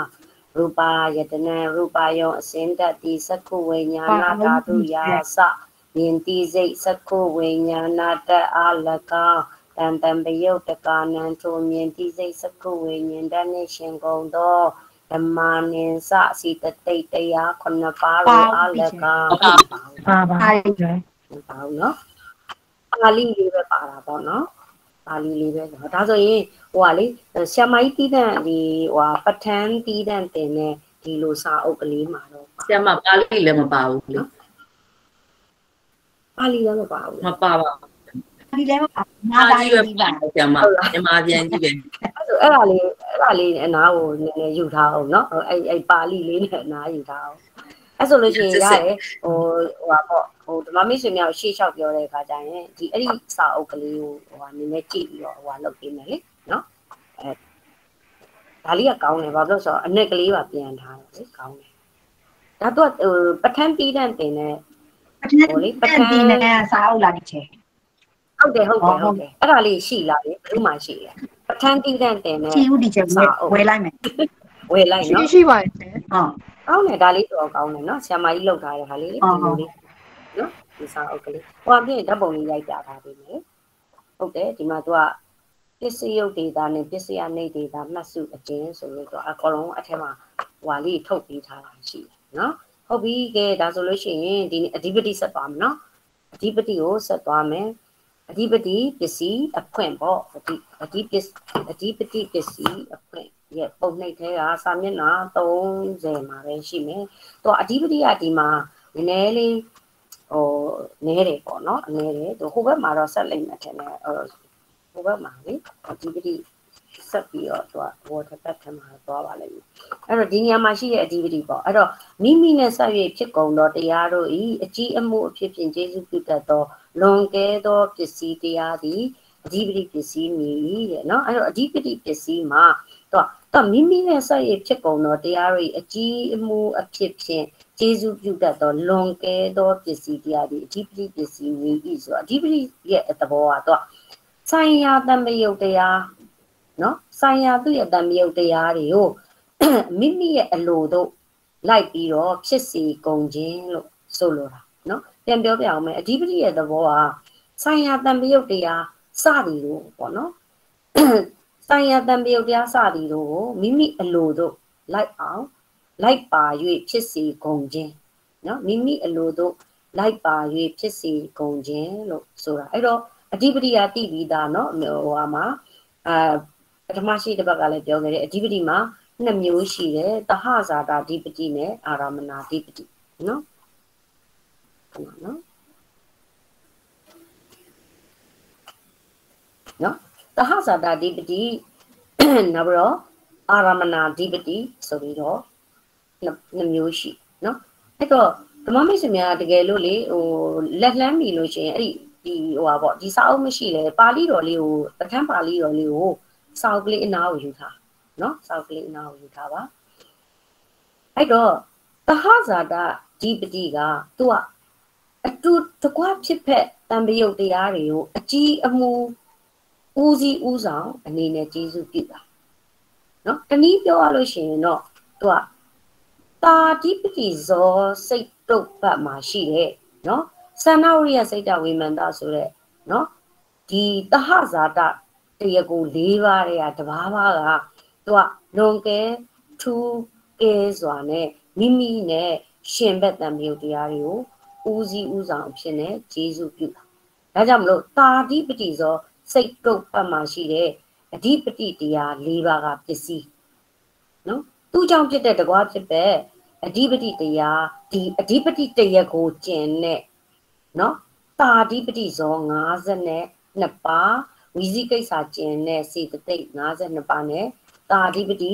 စိတ်တစားရုပ်တို့ဟာပစ္စည်းဥပ္ပါ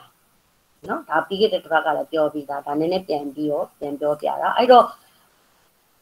တနည်းအားဖြင့်ပြောလို့ရှိရင်အဓိပတိတရား၄ပါးကြောင့်ဖြစ်တဲ့စိတ်စေတသိက်နဲ့စိတ်တစားရုပ်တရားအကျိုးပစ္စည်းဥပ္ပါမျိုးဖြစ်တယ်လို့ပြောချင်တာနော်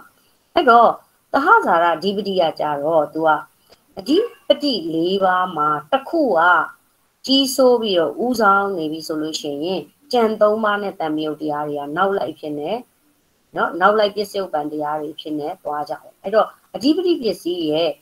နော်ပါဠိပိုက်မှာဆိုရင်စန္ဒာဓိပတိစန္ဒသမယုတ်တကာနန္ဓမာနံနော်အဲအဲ့ရနေပြီးတော့သန္နာဓိပတိဝိရိယဓိပတိစိတ်ဓာဓိပတိဝိမန္တာဓိပတိအထိ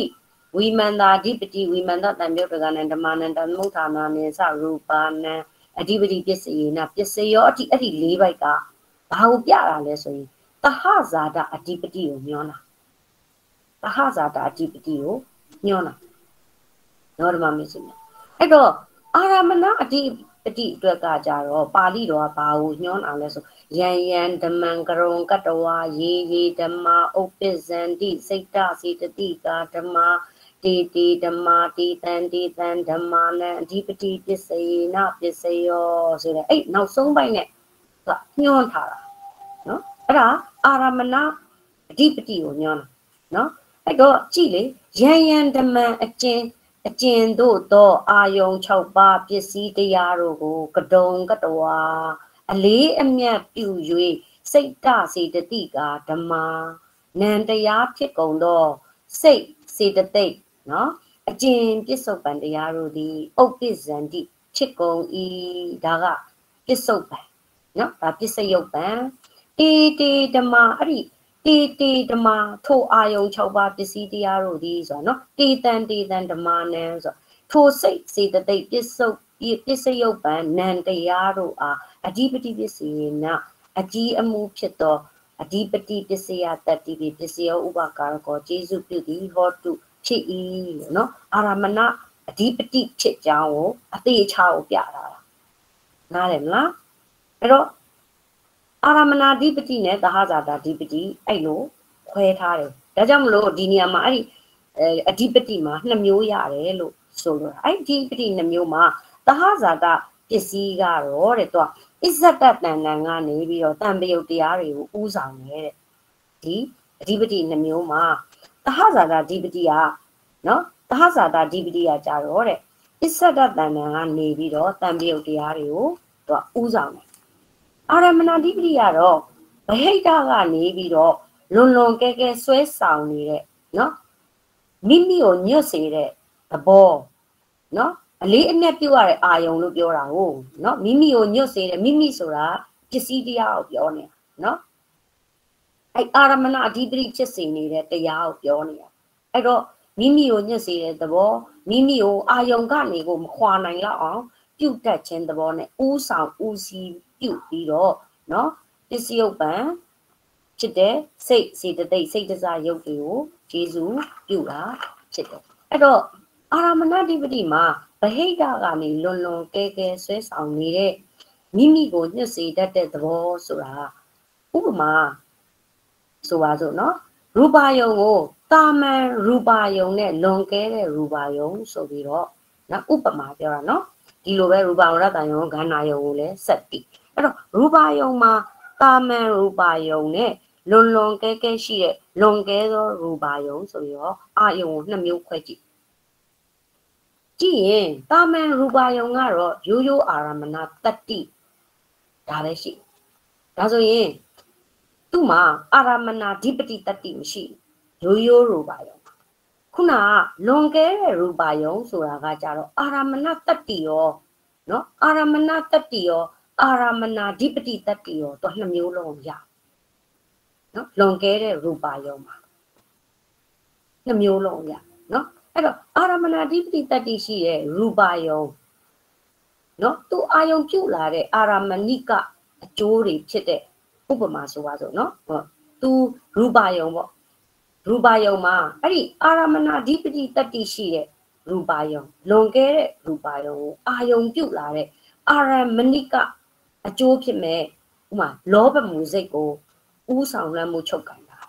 နော်သူကလောဘမူစိတ်ဖြစ်မယ်ဆိုရင်လောဘမူစိတ်ကိုသူကဥဆောင်လွှမ်းမှုချုပ်ကန်တာဥမာမမြင်ရရင်မနေနိုင်ဘူးအယူအမှုဖြစ်နေမယ်ရူပါယုံပေါ်မှာဥမာဆိုပါစို့ ဟိုအဘိပါရကစစ်သူကြီးရဲ့ဇနီးဖြစ်တဲ့အုံမာဒန်နီနော်အုံမာဒန်နီကိုမြင်တွေ့လိုက်ရတဲ့တိဝိမင်းကြီးဘလို့ဖြစ်သွားလဲယူသွားနော်စိတ်တွေယူသွားတယ်ခါတဲ့သူ့ရဲ့စိတ်တွေဖောက်ပြန်သွားတယ်နော်အုံမာဒန်နီကိုမမြင်ရရင်မနေနိုင်တော့အောင်ဖြစ်တယ်ဆိုနော်နောက်တခါပပဝရီတို့ပါတော့နော်သူ့ရဲ့ယူပါတယ်အလှကြောင့်မလို့အလောင်းတော်မင်းကူတာကယူဇနာတရားလောက်ဝေးတဲ့ခရီးကိုနေချင်းအရောက်တောင်မှ ရှောက်လန်းလာနိုင်တယ်လို့ဆိုတာဒါရူပါယုံရဲ့အာရမဏတတ္တိကြောင့်နော်အာရမဏအဓိပတိတတ္တိကြောင့်ဖြစ်တာနော်တာမန်ထက်နော်တာမန်အာယုံထက်လွန်လွန်ကဲကဲတတ္တိသူရှိနေတဲ့အာယုံမျိုးနော်အဲ့လိုမျိုးကိုပဲအလေးအမြတ်ပြုရဲလို့အလေးအမြတ်ပြုရဲဆိုတာတခါဟိုလိုလေးလေးဆဆကြီးတွေဟိုလိုမျိုးကြီးတွေပြောတာမဟုတ်ဘူးနော်အလေးအမြတ်ပြုတယ်ဆိုရင်မြန်မာစကားလုံးကိုသုံးထားပေမဲ့ तू ကထူးခြားတဲ့တတ္တိရှိနေတယ်နော် ထူးခြားတဲ့တတ္တိရှိတယ်လွန်ခဲ့တဲ့တတ္တိရှိတာကိုအလေးအမြတ်အာယုံပြုရဲဆိုတာဒီအာယုံကိုပဲ तू ကအရန်ကိုဆွဆွလန်းလန်းအာယုံယူနေတာကိုပြောတာအဲ့ဒါအလေးအမြတ်ပြုရဲဆိုတာအဲ့ဒါပဲနော်အလေးအမြတ်ပြုတယ်ဆိုတဲ့စကားလုံးတုံးထားတာဒီထဲမှာလေအာရမနာဓိပတိနော်အလေးအမြတ်ပြုတဲ့ပစ္စည်းတရားနဲ့အလေးအမြတ်ပြုတတ်တဲ့ပစ္စယုတ်တံပစ္စယုတ်ပံတရားနော်အလေးအမြတ်ပြုအပ်တာနဲ့ပြုတတ်တာနဲ့ပေါ့ နော်အဲ့တော့အလေးအမြတ်ဆိုတာခုနပြောပြီးပြီလေးလေးနက်နက်ဖြစ်နေတာမျိုးဆိုလိုတာနော်လေးလေးနက်နက်ကိုဂရုပြုမိနေတာမျိုးဆိုလိုအဲ့ဒါကိုဘာနဲ့ပါဠိတော်မှာတုံးထားလဲဆိုဂရုံကတ္တဝါဆိုတဲ့ပါဠိစကားလုံးနဲ့ပေါ်ပြတာနော်အလေးအမြတ်ထားတဲ့အာယုံဆိုတာအဲ့ဒါပြောတာဂရုံကတ္တဝါဆိုတဲ့စကားလုံးနဲ့သုံးအဲ့တော့ဒီပရိပစ္စည်းမှာကြည့်လိုက်လို့ရှိရင်နော်ဓမ္မမေစမြရဲ့စัจ जा မင်းဟာဥပမာအဓိပတိတရား၄ပါးက ဥပမေယပေါ့နော်အဲ့နောက်တစ်ခုကကြတော့သူကနောက်တစ်ခုကဘာလဲဆိုရင်ဓမ္မမိတ်ဆွေများရဲ့အဲ့ထက်မှာအဓိပတိတရား၄ပါးထဲမှာနော်စန္ဒစိတ်တာအဲဝရိယဝိမန္တဆိုပြီး၄ပါးရှိတဲ့တဲမှာစန္နပေါ့နော်စန္နစန္နနဲ့အလားတန်ပေါ့တိတ်မခွဲနိုင်တာပါလဲဆိုရင်လောဘနော်လောဘလောဘနဲ့စန္နကိုဘယ်လိုခွဲမလဲလို့မိအဓိပတိတက်ပြီးခွဲ နော်ဓမ္မမင်းဆွေများအဲ့တော့လောဘနဲ့စန္နကိုရှင်ကြည့်စန္နကကုသိုလ်အကုသိုလ်နှစ်ဖက်ရတဲ့စေတသိက်မဟုတ်ဘူးလားစန္နကလေနော်ကုသိုလ်မှာရောအကုသိုလ်မှာရောဖြစ်တဲ့စေနှစ်ဖက်ရစေတသိက်မျိုးဖြစ်တယ်လောဘကတော့အကုသိုလ်စေတသိက်ပဲအဲ့တော့ဆန္ဒဆိုတာကသူကလိုလားတောင်းတခြင်းဖြစ်တယ်လောဘကကြတော့လောကီအာယုံကာမဂုဏ်ကိုလိုလားတက်မဲ့ခြင်းဖြစ်တယ်အဲ့တော့ကာမဂုဏ်အာယုံကိုလောဘဖြစ်ပြီဆိုလို့ရှိရင် သူကအစေးနဲ့ကတ်တလူမျိုးပဲเนาะအာယုံကတ်ညိလာတဲ့သဘောပဲဆန္ဒနဲ့လောဘကိုရှင်ကြည့်လိုက်လို့ရှိရင်ဆန္ဒဟိုအားကြီးတယ်တဲ့ဥပမာကဲလောဘလိုမျိုးအကုသိုလ်တရားတွေကိုပယ်လို့တဲ့ဆန္ဒသာရှိနော်ဆန္ဒသာအဓိပတိတက်လာရင်အဲ့လောဘကိုမပယ်နိုင်ဘူးလားဓမ္မမင်းရှင်လေလောဘကိုပယ်နိုင်လားမပယ်နိုင်ဘူးလားဆန္ဒကအဓိပတိတက် သူဖြစ်လာတဲ့အကုသိုလ်ဖြစ်တဲ့လောဘအကုသိုလ်ကိုပယ်တတ်နိုင်ဒါကြောင့်မလို့ဆန္ဒကပိုအားကြီးတယ်လို့ပြောအဓိပတိတက်နိုင်တယ်လောဘကအဓိပတိမတက်နိုင်နော်ဒါကြောင့်မလို့မိမိကိုယ်မှာဖြစ်ရင်လဲဆန္ဒလားလောဘလားဆိုကိုယ့်ကိုအဓိပတိတက်ကြည့်နော်ဒါဆိုရင်ခွဲနိုင်တယ်။အိုးမလီလောဘဖြစ်နေငါဒါဆန္ဒပါလို့ပြောလို့မရဘူးနော်။ကွဲကွဲပြားပြားပြီးလို့ပြောတယ်နော်။ဆန္ဒနဲ့လောဘကွဲပြားချက်ကဆန္ဒက အဓိပတိတက်ပြီးတော့ကုသိုလ်ဘက်တွေမှာလုပ်ရင် तू ကလုံးဝကုသိုလ်စေတသိက်တာဖြစ်တယ်နော်။တစ်ဖက်ရစေတသိက်ဖြစ်တယ်လေ။အကုသိုလ်ဘက်မှာလည်းဆန္ဒအာကြည့်ပြီးသွားလို့ဖြစ်တယ်လေအဲ့ဒါအကုသိုလ်ဖြစ်မှာပေါ့။နော်။လောဘလို့မဟုတ်ဘူး तू ကအဲ့တော့လောဘလိုမျိုးအကုသိုလ်တရားကိုဆန္ဒနဲ့အဓိပတိတက်ပြီးပယ်တတ်နိုင်ရဲ့တဲ့နော်ဒါကြောင့်မလို့လောဘကအဓိပတိမတတ်နိုင်ဘူးဆန္ဒကအဓိပတိတတ်နိုင် တယ်ကဲဒါဆိုရင်ခုနအခုပြောခဲ့တဲ့အဓိပတိ၄ပါးကိုလေ့လာကြည့်လို့ရှိရင်တာဓိပတိဇော52ပါးလို့ဆိုတဲ့နော်တာဓိပတိဇောကသူကဒိဟိတ်နဲ့တိဟိတ်ဇောတွေမှာရှိရဲ့နော်ဇောတွေမှာရှိတဲ့နော်ဆန္ဒစိတ်တဝိရိယဝိမန္တ၄ပါးကိုပဲယူတာဒိဟိတ်နဲ့တိဟိတ်ကိုပဲယူတယ်ဧကဟိတ်ကိုယူဒါကြောင့်မလို့ဇောအလုံး55ပါးထဲမှာဧကဟိတ်နဲ့နော် အဟိတ်ကို၃ပါးကိုဖယ်ပြစ်လိုက်တာဖြစ်တဲ့အတွက်ကြောင့်မလို့ကြံတဲ့ဒိဟိတ်နဲ့တိဟိတ်52ပါးကြံရတယ်အဲ့ကြံတဲ့52ပါးကိုသာပါဠိပတိဇော52ပါးလို့ဆိုတယ်အဲ့တော့အဲ့ပါဠိပတိဇော52ပါးမှာရှိတဲ့အဓိပတိ၄ပါးသာလျှင်အဓိပတိတက်တယ်ဒါကိုကြည့်လို့ရှိရင်ထင်ရှားတဲ့ဇောစိတ်တွေမှာသာရှင်နိုင်တဲ့ရှင်နိုင်တဲ့เนาะအဓိပတိတက်တဲ့စေတသိက် ၄ပါးဖြစ်တယ်၄ပါးသာရတယ်เนาะထင်ရှားတဲ့ဇောစိတ်တွေမှာပဲ မထင်မရှားဖြစ်တဲ့ဧကဟိတ်စိတ်လိုမျိုးနော်ဧကဟိတ်စိတ်လိုမျိုးအဟိတ်စိတ်လိုမျိုးတွေမှာလာပြီးတော့ဒီအဓိပတိတက်လို့မရမရနော်အဲ့တော့အဓိပတိတက်တဲ့စေတသိက်၄ပါးဟာဘိဟိတ်နဲ့တိဟိတ်မှာဖြစ်တဲ့တာဓိပတိဇော52ပါးမှာသာလည်းဖြစ်တယ်နော်နော်အဲ့တော့ ဘာလို့ဒီဇောမှာကအဓိပတိတက်ရလဲဆိုလို့ရှိရင်ဇောဆိုတာကကြတော့ဇဝနနော်ဒါဝိธีပိုင်းမှာသင်ပြီးပြီဇဝနသူကဇဝနရဲ့အဓိပ္ပာယ်ကဘာလဲဆိုရင်ဒီမှာမြင်ရယ်သူလှင်မြန်ခြင်းအရှိန်အဟုန်ပြင်းစွာ ဖြစ်တတ်တဲ့သဘောဒီလိုရှိနော်ဇောဆိုတာနော်ဇောဆိုတာဇဝန ဇဝနဆိုတာလှင်မြန်ခြင်းအဟုန်အရှိန်အဟုန်ပြင်းစွာဖြစ်တတ်ခြင်းသဘောအဲ့တော့အဲ့လိုအရှိန်အဟုန်ရှိတော့ဇောစိတ်တွေမှာအားကောင်းတဲ့သဘောရှိတယ်နော်အဲ့လိုအရှိန်အဟုန်နဲ့ရှိတဲ့အားကောင်းတဲ့စိတ်တွေမှာဒါအဓိပတိတွေကဖြစ်တယ်နော်အဲ့တော့စေတသိက်လေးခုကရှင်တယ်အဲ့ရှစ်စေတသိက်လေးခုဆိုတာအဲ့အဓိပတိတက်တဲ့စေတသိက်လေးခုဒါကိုပဲအဓိပတိတက်တယ်လို့ဆိုတာနော်ဒါကိုပဲအဓိပတိတက်တယ်လို့ ဒီလိုစကားလုံးနဲ့ပြောတာဖြစ်တယ်အဲ့တော့လောကီဝိပဿစိတ်စေတသိက်တွေကြတော့ကံကြောင့်ဖြစ်ရလို့အာထုံမှုလုံးလဗျာပါရမရှိနော်လောကီဝိပဿစိတ်တွေကံကြောင့်ဖြစ်ရတာသူတို့ကနော်သူတို့မှာသူတို့ကငြိမ်တယ်ငြိမ်သက်တယ်နော်အဲ့လောကီဝိပဿစိတ်ကလုံးလဗျာပါရမရှိဗျာပါရဆိုတာဗျာပါဒနဲ့ဗျာပါရနဲ့မမှားပါနဲ့မမရှိနဲ့နော် ဗျာပါရေးတာချင်းတော့တူတယ်ဒါတွေနဲ့တာရင်ဗျာပါတနော်အသေးတောင့်တဗျာပါတဆိုတာနော်အဲ့ဒါဒေါသစိတ်တိတ်ထဲမှာဒေါသစကလုံးထဲမှာပါသွားမယ်စိတ်တိတ်ထဲဒီဗျာပါရကတော့သူကလုံးလပြုတ်ခြင်းအားစိုက်ထုတ်ခြင်းဆိုတာဗျာပါရပြုတ်တယ်လို့ခေါ်တယ်နော်လုံးလဗျာပါရမရှိမရှိဘူးဆိုတာကသူကငြိမ်သက်တဲ့သဘောလောကီရဲ့လောကီဝိဘက်စိတ်တွေကငြိမ်သက်တဲ့သဘောရှိတယ်နော်အဲ့ဒါကြောင့်မလို့ဇောစိတ်တို့လိုမျိုး အရှိန်အဟုန်ရှိဘူးသူကဒါကြောင့်မလို့ဒီလိုစိတ်မျိုးတွေမှာအဓိပတိမတက်နိုင်နော်အဲ့လိုစိတ်မျိုးတွေမှာအဓိပတိမတက်နိုင်ဘူးနော်အဲ့တော့ဇောစိတ်ရှိတာအလုံး55ပါခွဲလိုက်လို့ရှိရင်ကာမဇောဟာ29ပါအပနာဇောဟာ26ပါဒါတည်ပြီးသားပေါင်းလိုက်ရင်55ပါအဲ့တော့ကာမဇောမှာကအကုသိုလ်စိတ်12ပါးတဲ့ကမောဟမှုစိတ်ကဝီစည်းကိစ္စနဲ့အုတ်သစ်စအဲ့နှစ်ပါးသူကနော်အဲ့ဒီစိတ်ရဲ့ တင်ကိုသဘောကထက်တန်ခြင်းမရှိဘူးသူကနော်ထက်တန်ခြင်းမရှိဘူးဒိုလောဒိုလောဖြစ်နေတဲ့စိတ်နဲ့ပြန့်လွက်နေတဲ့အုတ်သစ်စနော်အာဝီစည်းကိစ္စဒိုလောဒိုလောဖြစ်နေရလေနော်အဲ့တော့သူကလို့ဖြစ်နေတင်ကိုသူ့ရဲ့စိတ်တင်ကိုသဘောကိုထက်တန်ခြင်းမရှိမရှိတဲ့အတွက်အဓိပတိမထိုက်ဘူးဆိုတော့တော့ဧကဟိတ်လည်းဖြစ်တဲ့အတွက်ကြောင့်မလို့အဲ့ဒီနှစ်ပါး55ပါးတွေကနှုတ်ပါတော့နော်ခုနနှုတ်အချင်းအကြောင်းရင်းကိုဒါပြန်ပြောပြပြီအဲ့တခါ ဟတ္တိတုတ်တာဘာဖြစ်လို့အဲ့ဒီဧကဟိတ်တွေနော်ဧကဟိတ်တွေအဟိတ်တွေကိုနှုတ်နေရတာလဲဆိုတာကိုနောက်တစ်ခေါက်ပြန်ပြောပြမယ်နော်အဲ့တော့နောက်တစ်ခါဟတ္တိတုတ်ပတ်ဟတ္တိတုတ်ပတ်ကလည်းဇောစိတ်တွေထဲမှာတော့ဖြစ်တယ်ဟင်အရှိန်အဟုန်တော့ရှိပင်ကြီးရှိညာပေမဲ့လေသူအာဟိတ်စိတ်ဖြစ်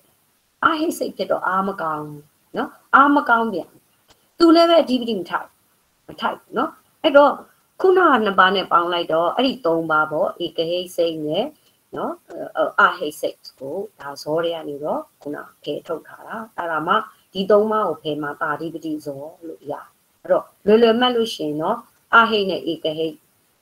နော်အာဟိနဲ့ဧကဟိဇောစိတ်တွေဟာအဓိပတိမထိုက်ဘူးလို့မှတ်ရမယ်နော်ဒါလွယ်လွယ်မှတ်တာအဲ့တော့စိတ်ဓာပတိပတိနော်စိတ်ဓာအဓိပတိဆိုတော့ စိတ်တွေကိုဆိုလိုတာဖြစ်လို့တာအဓိပတိဇော52ပါးကိုစိတ်52ပါးကိုစိတ်ဓာအဓိပတိလို့ကောက်တယ်နော်စိတ်ဓာအဓိပတိကိုကောက်ရင်ဘာကိုကောက်လဲဆိုလို့ရှိရင်တာအဓိပတိဇော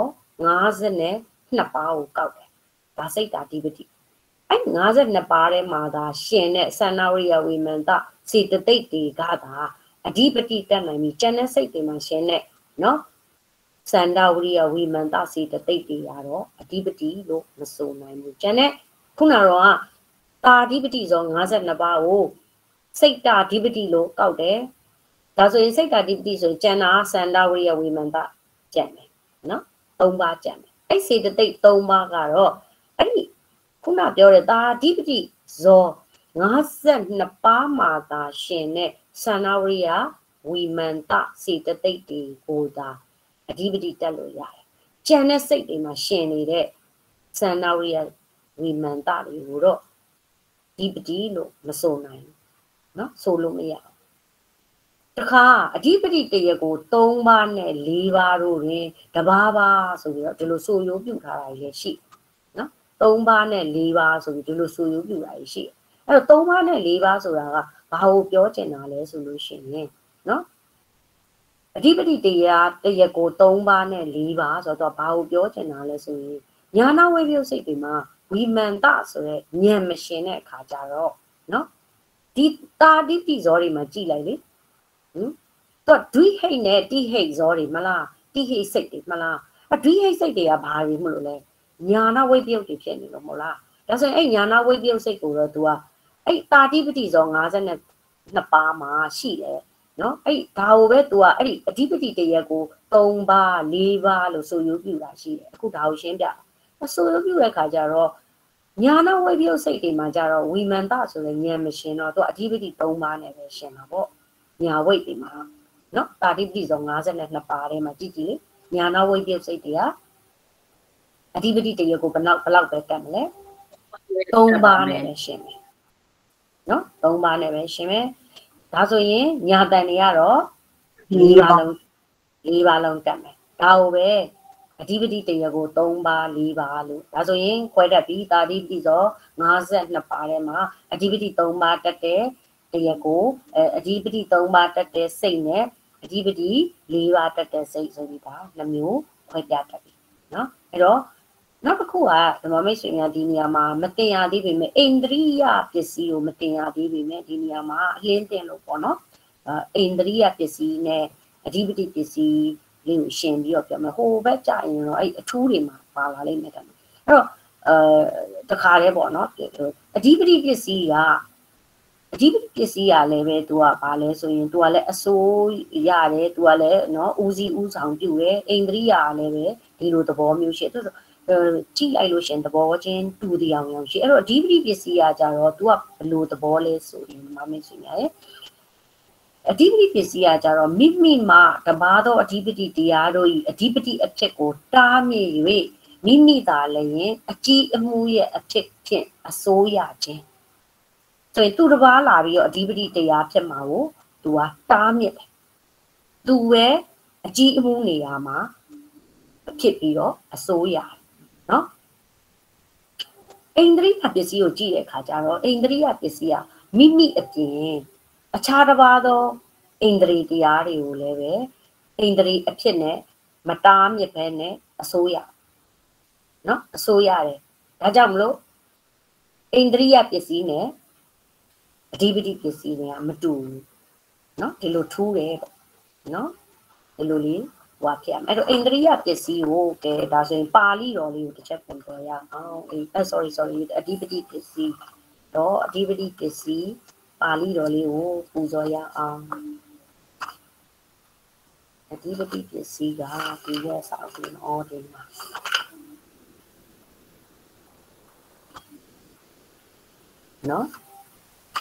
ဟုတ်လားဒီပတိဖြစ်စီဒီဟိုဟာလေသူ့ရဲ့ဟိုဟာပါဠိမြန်မာဘိုက်ကလေးကိုတော့ဓမ္မမိတ်ဆွေများကိုဒီဘိုက်လောက်ဖတ်အဲဖတ်ပူဇော်ပြမယ်နော်ပူဇော်ပြမယ်ပြီးတော့မှ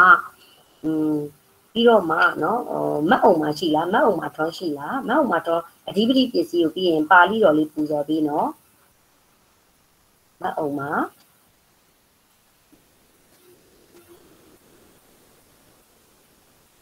ဟုတ်ပြီဒီမှာအဓိပတိပစ္စည်းရောဒီအဓိပတိပစ္စည်းဟူတော်ကအော် sorry ဟုတ်တယ်နော်တဟဇာတာဓိပတိနော်တဟဇာတာဓိပတိစန္ဒာဓိပတိအကြီးအမှုစန္ဒာဒီသူကပစ္စည်းပေါ့နော်စန္ဒသမယုတ်တကာနံစန္ဒနှင့်ရှင်ကုန်သောဓမ္မာနင်စဒီဟိတ်ဇောတိဟိတ်ဇောစိတ်စေတသိက်နန္တရားတို့အား၎င်းတန်သမုဋ္ဌာနာနံထိုစန္ဒကြောင့်ဖြစ်ကုန်သော ရူပါနင်စစိတ်တစရုပ်တို့အား၎င်းအဓိပတိပစ္စယေနအကြီးအမှုဖြစ်သောအဓိပတိပစ္စယတတ္တိဖြင့်တစ္စယောဥပကာရကောကျေစုပြုတတ်သည်ဟောတိဖြစ်၏ဝိရိယအဓိပတိအကြီးအမှုဝိရိယသည်ဝိရိယတံပြုတ်တကနံဝိရိယနှင့်ရှင်ကုန်သောဓမ္မာနံဒီဟိတ်ဇောတိဟိတ်ဇောစိတ်စေတသိက်နံတရားတို့အား၎င်းတံသမုဋ္ဌာနာနံ ထိုဝိရိယကြောင့်ဖြစ်ကုန်သောရူပါနိစစိတ်တစရုပ်တို့အား၎င်းအဓိပတိပစ္စယေနအကြီးအမှုဖြစ်သောအဓိပတိပစ္စယတတ္တိပစ္စယောဥပကာရကောကျေစုပြုတတ်သည်ဟောတိဖြစ်ဤတဲ့เนาะဒါဒီသဘောပဲအဲ့တော့စိတ်တာတိပိဝိမန္တာတိပတိအတူတူပဲနောက်တစ်ခုကကြတော့အာရမနာတိပတိအာရမနာတိပတိမှာကြတော့ယံယံဓမ္မံကရုံကတ္တဝအကျဉ်အကျဉ်တို့သော အာယုံ6ပါးပစ္စည်းတရားတို့ကို အလေးအမြတ်ပြုရနော်ခုနကဂရုံကတ္တဝါဆိုတာအလေးအမြတ်ပြုရလို့လို့ဒီလိုအနက်ထွက်တယ်နော်အဲ့တော့စိတ်တစေတသိကစိတ်စေတသိက်နံတရားဖြစ်ကုန်သောရေရေဓမ္မအကျင့်အကျင့်ပစ္စည်းရုပ်ပံတရားတို့သည်ဥပ္ပဇန္တိဖြစ်ကုန်၏တေတေဓမ္မာထိုထိုအာယုံ6ပါးပစ္စည်းတရားတို့သည်တေတံတေတံဓမ္မာနံထိုထိုစိတ်စေတသိက်နံဖြစ်သော ပစ္စည်းယုတ်ပံတရားတို့အားအဓိပတိပစ္စယေနအကြီးမှုဖြစ်သောအဓိပတိပစ္စယတတ္တိဖြင့်ပစ္စယောဥပကာရကောကျေစုပြုတတ်သည်ဟောတိဖြစ်၏တဲ့နော်ဆိုရင်ပါဠိတော်လေးကိုပူဇော်ရအောင်မှတ်ပုံမှမရှိဘူးထင်တယ်မှတ်ပုံမှထောင်းရှိလားအင်းရှိပါတယ်ဆရာမမှတ်ပုံမှထောင်းရဆိုရင်ဒီအဓိပတိပစ္စည်းလေးရဲ့ပါဠိတော်လေးကိုလေပူဇော်ပေးပါအောင်ရှင်ဟုတ်ကဲ့ပါဆရာမ အဓိပတိပစ္စယောတိသန္တာအဓိပတိသန္တာတမြုတ်တကဏံဓမ္မနံတံသမုဋ္ဌာနာနိသောဝိပန္နံအဓိပတိပစ္စေနာပစ္စယောဝိရိယအဓိပတိဝိရိယတမြုတ်တကဏံဓမ္မနံတံသမုဋ္ဌာနာနိသာရူပန္နံအဓိပတိပစ္စေနာပစ္စယောစိတ်တာအဓိပတိစိတ်တာတမြုတ်တကဏံဓမ္မနံ တံသမုဋ္ဌာနာနိသာရူပန္နံအဓိပတိပစ္စေနာပစ္စယောမိမန္တာအဓိပတိဝိမန္တာတမယုတ်တကဏံဓမ္မနံတံသမုဋ္ဌာနာနိသာရူပနံအဓိပတိပစ္စေနာပစ္စယောယံယံဓမ္မံကရုံကတဝါယေဓမ္မဥပ္ပစ္စံတိစိတ်တာစတိကဓမ္မတေတေဓမ္မတေတံတေတံဓမ္မနံအဓိပတိပစ္စေနာပစ္စယောသာဓုသာဓုသာဓု ဟုတ်ပြီအဲဆိုလို့ရှိရင်ဒါအခုအဓိပတိပစ္စည်းเนาะနည်းနည်းနားလဲသွားပြီလားယင်ဟိုခါတိုင်းလေးတက်နည်းနည်းထပ်ချက်လိုက်တယ်ပေါ့နော်ဆိုတော့ဒါကအဓိပတိပစ္စည်းပြီးတော့အနန္တရပစ္စည်းနဲ့တမန်နန္တရပစ္စည်းเนาะအနန္တရပစ္စည်းနဲ့တမန်နန္တရပစ္စည်းကိုတူတဲ့အတွက်သူကအတူတူဖွင့်လာတယ်အဲ့တော့စာမျက်နှာ30မှာပဲရှိတယ်ပစ္စည်းတရားတည်တဲ့ပစ္စည်းဥပ္ပန်တရားတို့ ਨੇ တကွ အကြာမရှိသောအဖြစ်ကျေစုပြုတတ်သောကြောင့်အနန္တရပစ္စည်းမြေဤ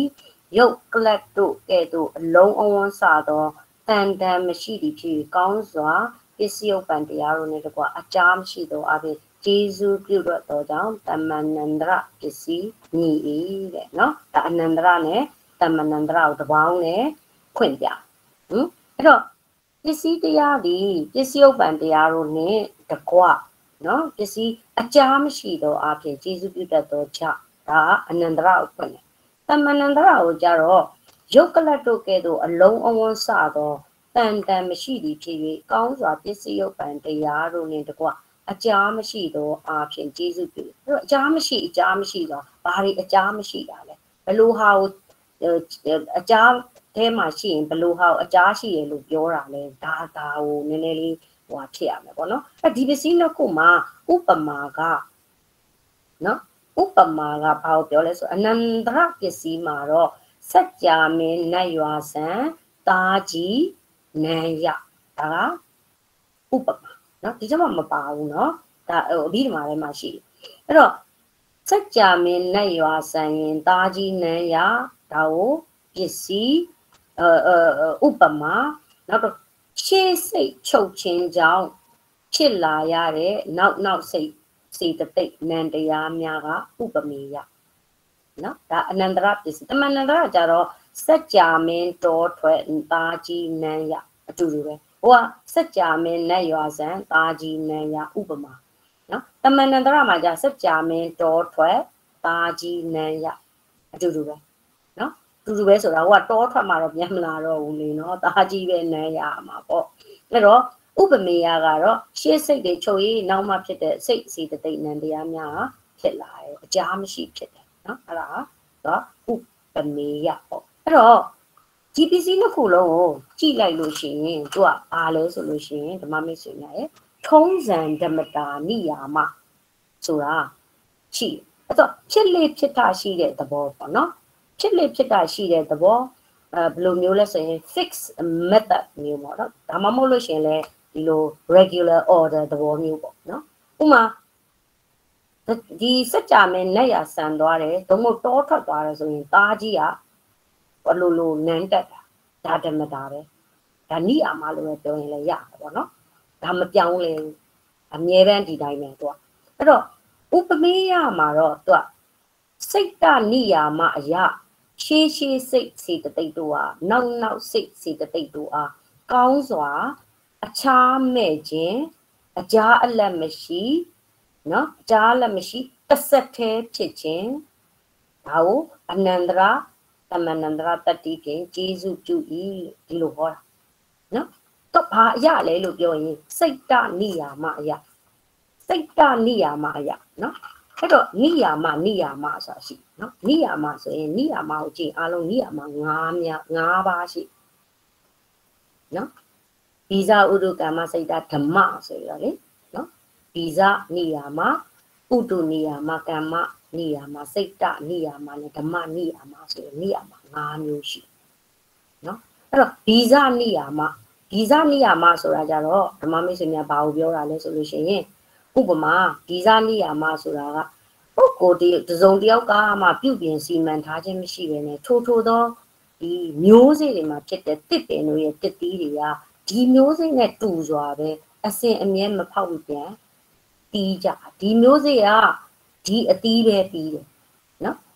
ကျဟင်းငါးသီးပင်စိုက်ရင်တရက်သီးမတီးဘူးကျဟင်းငါးသီးပဲပြီးတယ်တရက်ပင်စိုက်ရင်တရက်သီးပဲပြီးတယ် စိန်တလုံးဆိုင်ရင်မချစ်စုလာမတည်ဘူးစိန်တလုံးပဲတည်ဒါဗီဇနေရမှာနော်ဥတုနေရမှာကြတော့ပုဂ္ဂိုလ်တစ်စုံတစ်ယောက်ကပြုပြင်စီမံထားခြင်းမရှိပဲနဲ့သူ့ကာလနဲ့သူຫນွေမိုးဆောင်ဥရုတွေရဲ့အစွမ်းနဲ့တစ်ပင်ခြုံတွေမြက်စသည်တို့ကဥရုတို့ရဲ့ပြုပြင်ချက်အတိုင်းအစဉ်အလိုက်ပုံမှန်ဒီပွင့်ကြတယ်เนาะဒီဒီမိုးနဲ့ထိရင်ဒီအပင်လေးရှင်တန်နဲ့တီးတယ် နော်စောင်းမှာနှင်းနေကြရင်ဒီပင်နေဒီပါဒီလိုမျိုးဥဒုတွေဒီလိုပြောင်းလဲပြီးတော့သူ့အစင်လိုက်အတိုင်းဖြစ်တယ်ပစ်တစ်ပင်ပန်းမှန်နေရလဲသူ့သူ့ရဲ့အဲအချိန်ကာလဥဒုနဲ့ထိတွေ့ပြီးတော့အတီးအပွင့်နေပွင့်လာဒါကဥဒုနိယာမနော်နောက်တစ်ခါကမ္မနိယာမနော်ဓမ္မမိတ်ဆွေများကမ္မနိယာမကြတော့စေတနာကကံဖြစ်တယ်လို့နော်စေတနာကံဖြစ်တာမလို့စေတနာနဲ့တန်ပြုတ်တဲ့ တန်ပြုတ်စိတ်စေတနာတန်ပြုတ်စိတ်ဖြစ်တဲ့စေတနာကတန်ပြုတ်ပြီးတော့ဖြစ်လာတဲ့စိတ်စေတသိက်ပေါ့နော်ဒီလိုအဲဖြစ်တဲ့ကုသိုလ်အကုသိုလ်နော်အဲ့ဒီလိုမျိုးကုသိုလ်အကုသိုလ်စေတနာကံတွေကဘဝတစ်ခုကိုကျေးဇူးပြုဒါမပြောင်းလဲနိုင်ဒါပြုမှာပဲတေချာပေါက်ပဲနော်ဒါကံမနေရမှာနောက်တစ်ခုစိတ်ကနေရမှာနော်စိတ်ကနေရမှာကိုကြည့်ဝီတိစိတ်အစဉ်အတန်းတစ်ခုပေါ့ နော်ဥပမာအတိဒဘဝင်ဝင်ကဆလနာဝင်ခုပစ္စည်းတာပြင်စသွားတာဝေဇံစက္ခုဝိညာဉ်တံပရိဆိုင်တန်တီနဲ့နဝုထောဇောခုနှစ်ချိန်တရားရောခုနှစ်တရားရောနှစ်ချိန်ဘဝင်ဘဝင်ပေါ့နော်ဒါဝီတိစိတ်အစဉ်တန်းတစ်ခုပေါ့ဒီလိုဝီတိစိတ်အစဉ်မှာရှေ့ရှေ့စိတ်ကချုပ်နောက်နောက်စိတ်ပေါ်လာရတယ်နော်ရှေ့ရှေ့စိတ်ကချုပ်ရင်နောက်နောက်စိတ်ကပေါ်ကိုပေါ်ရတယ် နော်ရှေ့စိတ်ချုပ်မှနောက်စိတ်ပေါ်တယ်ရှေ့စိတ်ချုပ်မှနောက်စိတ်ပေါ်တယ်ဒါစိတ်တာနေရမှာ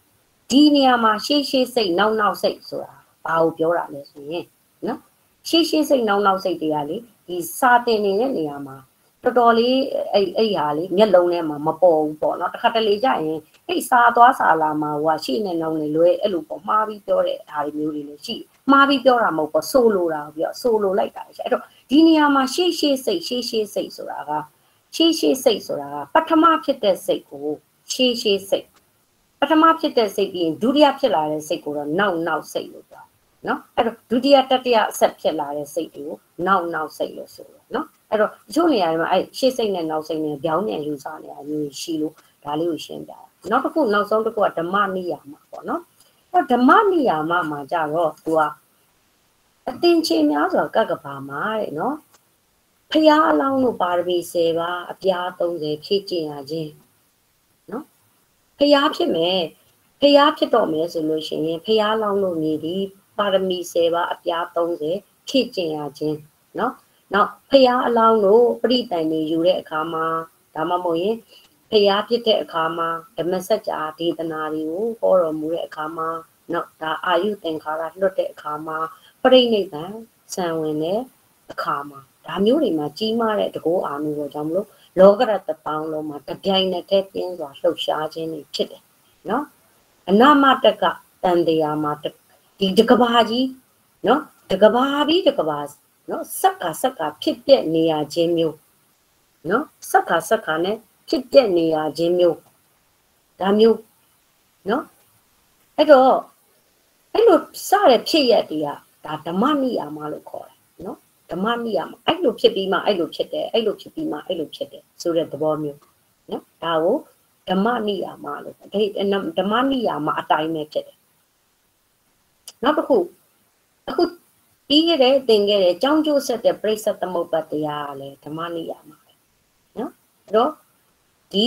နိယာမတွေအကြောင်းတွေသိပြီဆိုတော့ပစ္စည်းနဲ့ပစ္စယုတ်တံကိုခွဲကြခွဲကြည့်ရအောင်ဒီထဲမှာစိတ်တနိယာမပါလာတာဖြစ်တဲ့အတွက်ကြောင့်မလို့နိယာမကို နိယာမ၅မျိုးရှိတယ်ဆိုတာကိုသိစေခြင်းတဲ့အတွက်ရှင်းပြတာပါဓမ္မမျိုးရှိတယ်เนาะအဲ့တော့ဒီเนาะနိယာမမှာ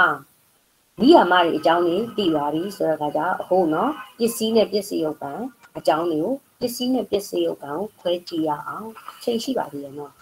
နောက်ထပ်9မိနစ်လောက်လေဆောင်းမဖြည့်ကြလာပြီလားเนาะအဲ့တော့ တော့ဗမာရှိလဲဆိုရင်အချက်ပုံနံပါတ်1မှာရှိရနော်ပစ္စည်းနဲ့ပစ္စည်းဥပ္ပံကိုခွဲကြမယ်ပစ္စည်းနဲ့ပစ္စည်းဥပ္ပံကိုခွဲရမယ်အချက်ပုံနံပါတ်1မှာနံပါတ်1မှာရှိနော်အနန္တရတမနန္တရနတ္တိဝိကတဆိုရဲ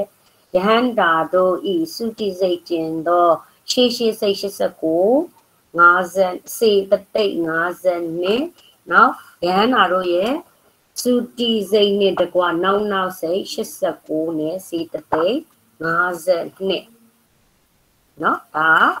ပစ္စည်းနဲ့ပစ္စည်းရုပ်ပံအဲ့တော့ပစ္စည်းနဲ့ပစ္စည်းရုပ်ပံမှာเนาะအဲ့တော့ယဟန္တာတို့စီတီစိတ်ကျင်သောရှေးရှေးသောစိတ်89စီတသိန်း52တီအကြောင်းပစ္စည်း နော်အကြောင်းပစ္စည်းအဲ့အကြောင်းပစ္စည်းကဘာဖြစ်လို့ယဟန္တာတို့စုတိစိတ်ကိုကျင်တယ်လဲလို့မေးရင်ယဟန္တာတို့ရဲ့စုတိစိတ်နောက်မှာဘဝမဖြစ်မဖြစ်တော့အဲ့တော့ကျေးဇူးပြုဖို့ပြိတန်ဒီစိတ်ထပ်မဖြစ်နိုင်တော့တဲ့အတွက်စုတိစိတ်ကိုကျင်ရတယ်ဒီဘက်ကအကျိုးပြည့်စုံပံတရားထဲမှာကြတော့နော်အကျိုးပြည့်စုံပံတရားမှာကြတော့ယဟန္တာတို့စုတိစိတ်နဲ့တကွနောက်နောက်စိတ်89နဲ့ စေတသိက်52ပါအဲ့တော့ဒီဘက်မှာကျတော့ယဟန်တော်စုတိစိတ်ကိုဘာဖြစ်လို့ထည့်ရလဲဆိုရင်စုတိစိတ်မကြခင်မှာဇောတော့မဟုတ်ဘဝင်ဆိုတဲ့နော်ပစ္စည်းတရားတွေကယဟန်မှာစုတိစိတ်ကိုကျေးဇူးပြုတယ်စုတိစိတ်မကြခင်မှာဖြစ်နေတဲ့နော်မကြခင်မှာဖြစ်တဲ့ဇောတော့မဟုတ်ဘဝင်ပေါ့နော်ဘဝင်ကြရင်ကြမယ်ဇောကြရင်ကြမယ်အဲ့ဒီပစ္စည်းတရားတွေက ယဟန္တာစုတိစိတ်ကိုကျေးဇူးပြုတဲ့အတွက်ကြောင့်မလို့ပစ္စည်းဥပ္ပံဘက်မှာတော့ဒီယဟန္တာစုတိစိတ်ကိုခဲ့ရနော်ပစ္စည်းဘက်မှာအကြောင်းတရားဘက်မှာတော့အစုတိစိတ်ကိုမလုပ်ရမလဲ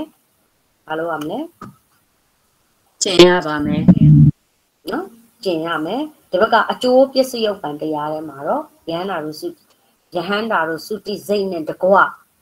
ဖြစ်တယ်လို့ဒီလိုယဟန္တာတို့စုတိစိတ်ကိုထည့်ရနော် အဲ့တော့ပစ္စည်းနဲ့ပစ္စည်းရုပ်ပံဘယ်လိုဖြစ်ကြလဲဆိုလို့ရှိရင်ဓမ္မမိတ်မိတ်ဆွေများရဲ့ဝီထိစဉ်မှာကြည့်လို့ရှိရင်ဆိုပါစို့နော်ဝီထိစဉ်ကဘာလဲဆိုရင်ဥမာပသတ္တနာဝုဇနော်ဇောခုနှစ်ကြိမ်တရားရောနှစ်ကြိမ်ဆိုတဲ့အခါကျတော့အဲ့မှာရှင်ဘတ်စေတသိက်နဲ့တကွာဖြစ်တဲ့ပြင်စဒွါရဝဇန်ကနော်ဟိုပ ဟုတ်ပြီအဲ့တော့ဓမ္မမိတ်ဆွေများအဲ့ဝီကြီးစင်တန်းလေးကိုလိုက်ပြီးတော့ပဆက်တဏ္ဍဝုဇယုံဆိုပြီးတော့လိုက်ရေးကြည့်လိုက်နော်အဲ့တော့ပကပြင်စဒွါရဝဇံနော်ပြင်စဒွါရဝဇံအဲ့ဒါလေးကိုရေးပြီးတော့နားလည်အောင်လိုက်ကြည့်ကြည့်နော်အဲ့တော့ပစ္စည်းနဲ့ပစ္စည်းဥပ္ပန်တရားကိုခွဲကြည့်မယ်အဲ့ဒီဝီကြီးစင်တန်းမှာနော်သူကစိတ်တနိယာမလို့ပြောတာကိုရှေ့စိတ်ချုပ်မယ်နောက်စိတ်ပေါ်မယ်ရှေ့စိတ်ချုပ်မယ်နောက်စိတ်ပေါ်မယ်အဲ့ဒါကအနန္တရတတိနဲ့ သူကကျေစုပြုတယ်တမန်နန္တရတတိနဲ့ကျေစုပြုတယ်လို့ပြောတယ်လို့တော့ဝီကြီးစိတ်စင်တန်းမှာတိနာတာကိုခဏဘေးပဲပြင်စသွားတာဝေဇံဒါတော့နော်သကုဝိညာဉ်တံပရိဆိုင်တန်ဒီရဏဝုထောဇောခုနှစ်ကြိမ်တရားယုံနှစ်ကြိမ်မှာသူရှင်မက်စစ်တဲ့တိတ်တွေနဲ့တကွာဖြစ်တဲ့ဥမာပြင်စသွားတာဝဇံပထမဦးဆုံးတစ်လုံးစားတဲ့ဝီကြီးဝီကြီးစိတ်တစ်လုံးဖြစ်တဲ့ ပြင်စဒါရဝဇံကပစ္စည်းဖြစ်နေချိန်မှာသူ့ရဲ့ရှင်ဘက်စိတ်တိတ်နဲ့တကွာဖြစ်တဲ့နော်ဘာဖြစ်လို့စိသူကတစ်လုံးနဲ့မဖြစ်ဘူးနော်စိတ်ဖြစ်ရင်ဘာတွေပဲပါလာပြီလေစိတ်တိတ်တွေကသူကတံပယုတ်ဖြစ်လာတယ်နော်ဒါကြောင့်မလို့အခုပြင်စဒါရဝဇံလေးကပစ္စည်းဖြစ်နေတဲ့အချိန်မှာရှင်ဘက်စိတ်တိတ်နဲ့တကွာဖြစ်တဲ့စက္ခုဝိညာဉ်စိတ်ကပစ္စည်းယုတ်တန်တရားဖြစ်တယ်ဒါဆိုရင်စက္ခုဝိညာဉ်ကပစ္စည်းဆိုရင် တံပရိဆိုင်ကပစ္စည်းယုတ်ပါအဲ့တော့ပြင်စဒွါရဝေဇန်လေးကပစ္စည်းဖြစ်နေချိန်မှာနော်သူချုပ်ပေးလိုက်တယ်ဆိုရင်စက္ခုဝိညာဉ်လေးကပစ္စည်းယုတ်ပံနေနဲ့ပေါ်လာတယ်တခါစက္ခုဝိညာဉ်လေးကပစ္စည်းဖြစ်သွားပြီးသူချုပ်ပေးလိုက်တယ်ဆိုရင်တံပရိဆိုင်လေးကပစ္စည်းယုတ်ပံနေနဲ့သူပေါ်လာမယ်နော်ဒီလိုပဲသွားမယ်အဲ့လိုမျိုးနဲ့တံပရိဆိုင်တန်ဒီရနာဝုတ်တော်ဇောအစဉ်စဉ်ချုပ်မယ် ဖြစ်ပေါ်လာမယ်တစ်လုံးစိတ်တစ်လုံးချုပ်မယ်စိတ်နောက်ထပ်တစ်လုံးဝီတိစိတ်အစဉ်တန်းတောက်လျှောက်ဖြစ်လာမယ်နော်ဘယ်ကြမလဲဒရာယုံကြရင်ကြမယ်မကြရင်ဘဝင်ဟလာဘဝင်ထိဟလာဒရာယုံကြမယ်ဘဝင်ထိသွားမယ်အဲ့တော့ဒါစိတ်တနိယာမှာတိုင်းရှေးရှေးစိတ်တို့ချုပ်မယ်နောက်နောက်စိတ်တို့အကြာအလတ်မရှိဒီတိုင်းဖြစ်တာနော်ဖြစ်နေအဲ့တော့ဓမ္မမိတ်ဆွေများရဲ့ နိရောဓသမပတ်ဝင်စားတဲ့အခါမှာနိရောဓသမပတ်မှာသူ့ရဲ့ဝီကြည့်စဉ်ရှိတယ်နော်အဲ့တော့နိရောဓသမပတ်ဝီကြည့်စဉ်သိလားယင်ဟိုစာစပယ်နိရောဓသမပတ်ရဲ့ဝီကြည့်စဉ်လေးကိုမှတ်မိလားယင်နိရောဓသမပတ်ဝင်ဝင်စားတဲ့ဝီကြည့်စဉ်လေးမှတ်မိလားကဲဒါဆိုပြောမယ်နော်ဝဇန်ဆောင်မောဆရာမ အဲဟုတ်တယ်နော်နာတာမနောတာရဝဇံပဥ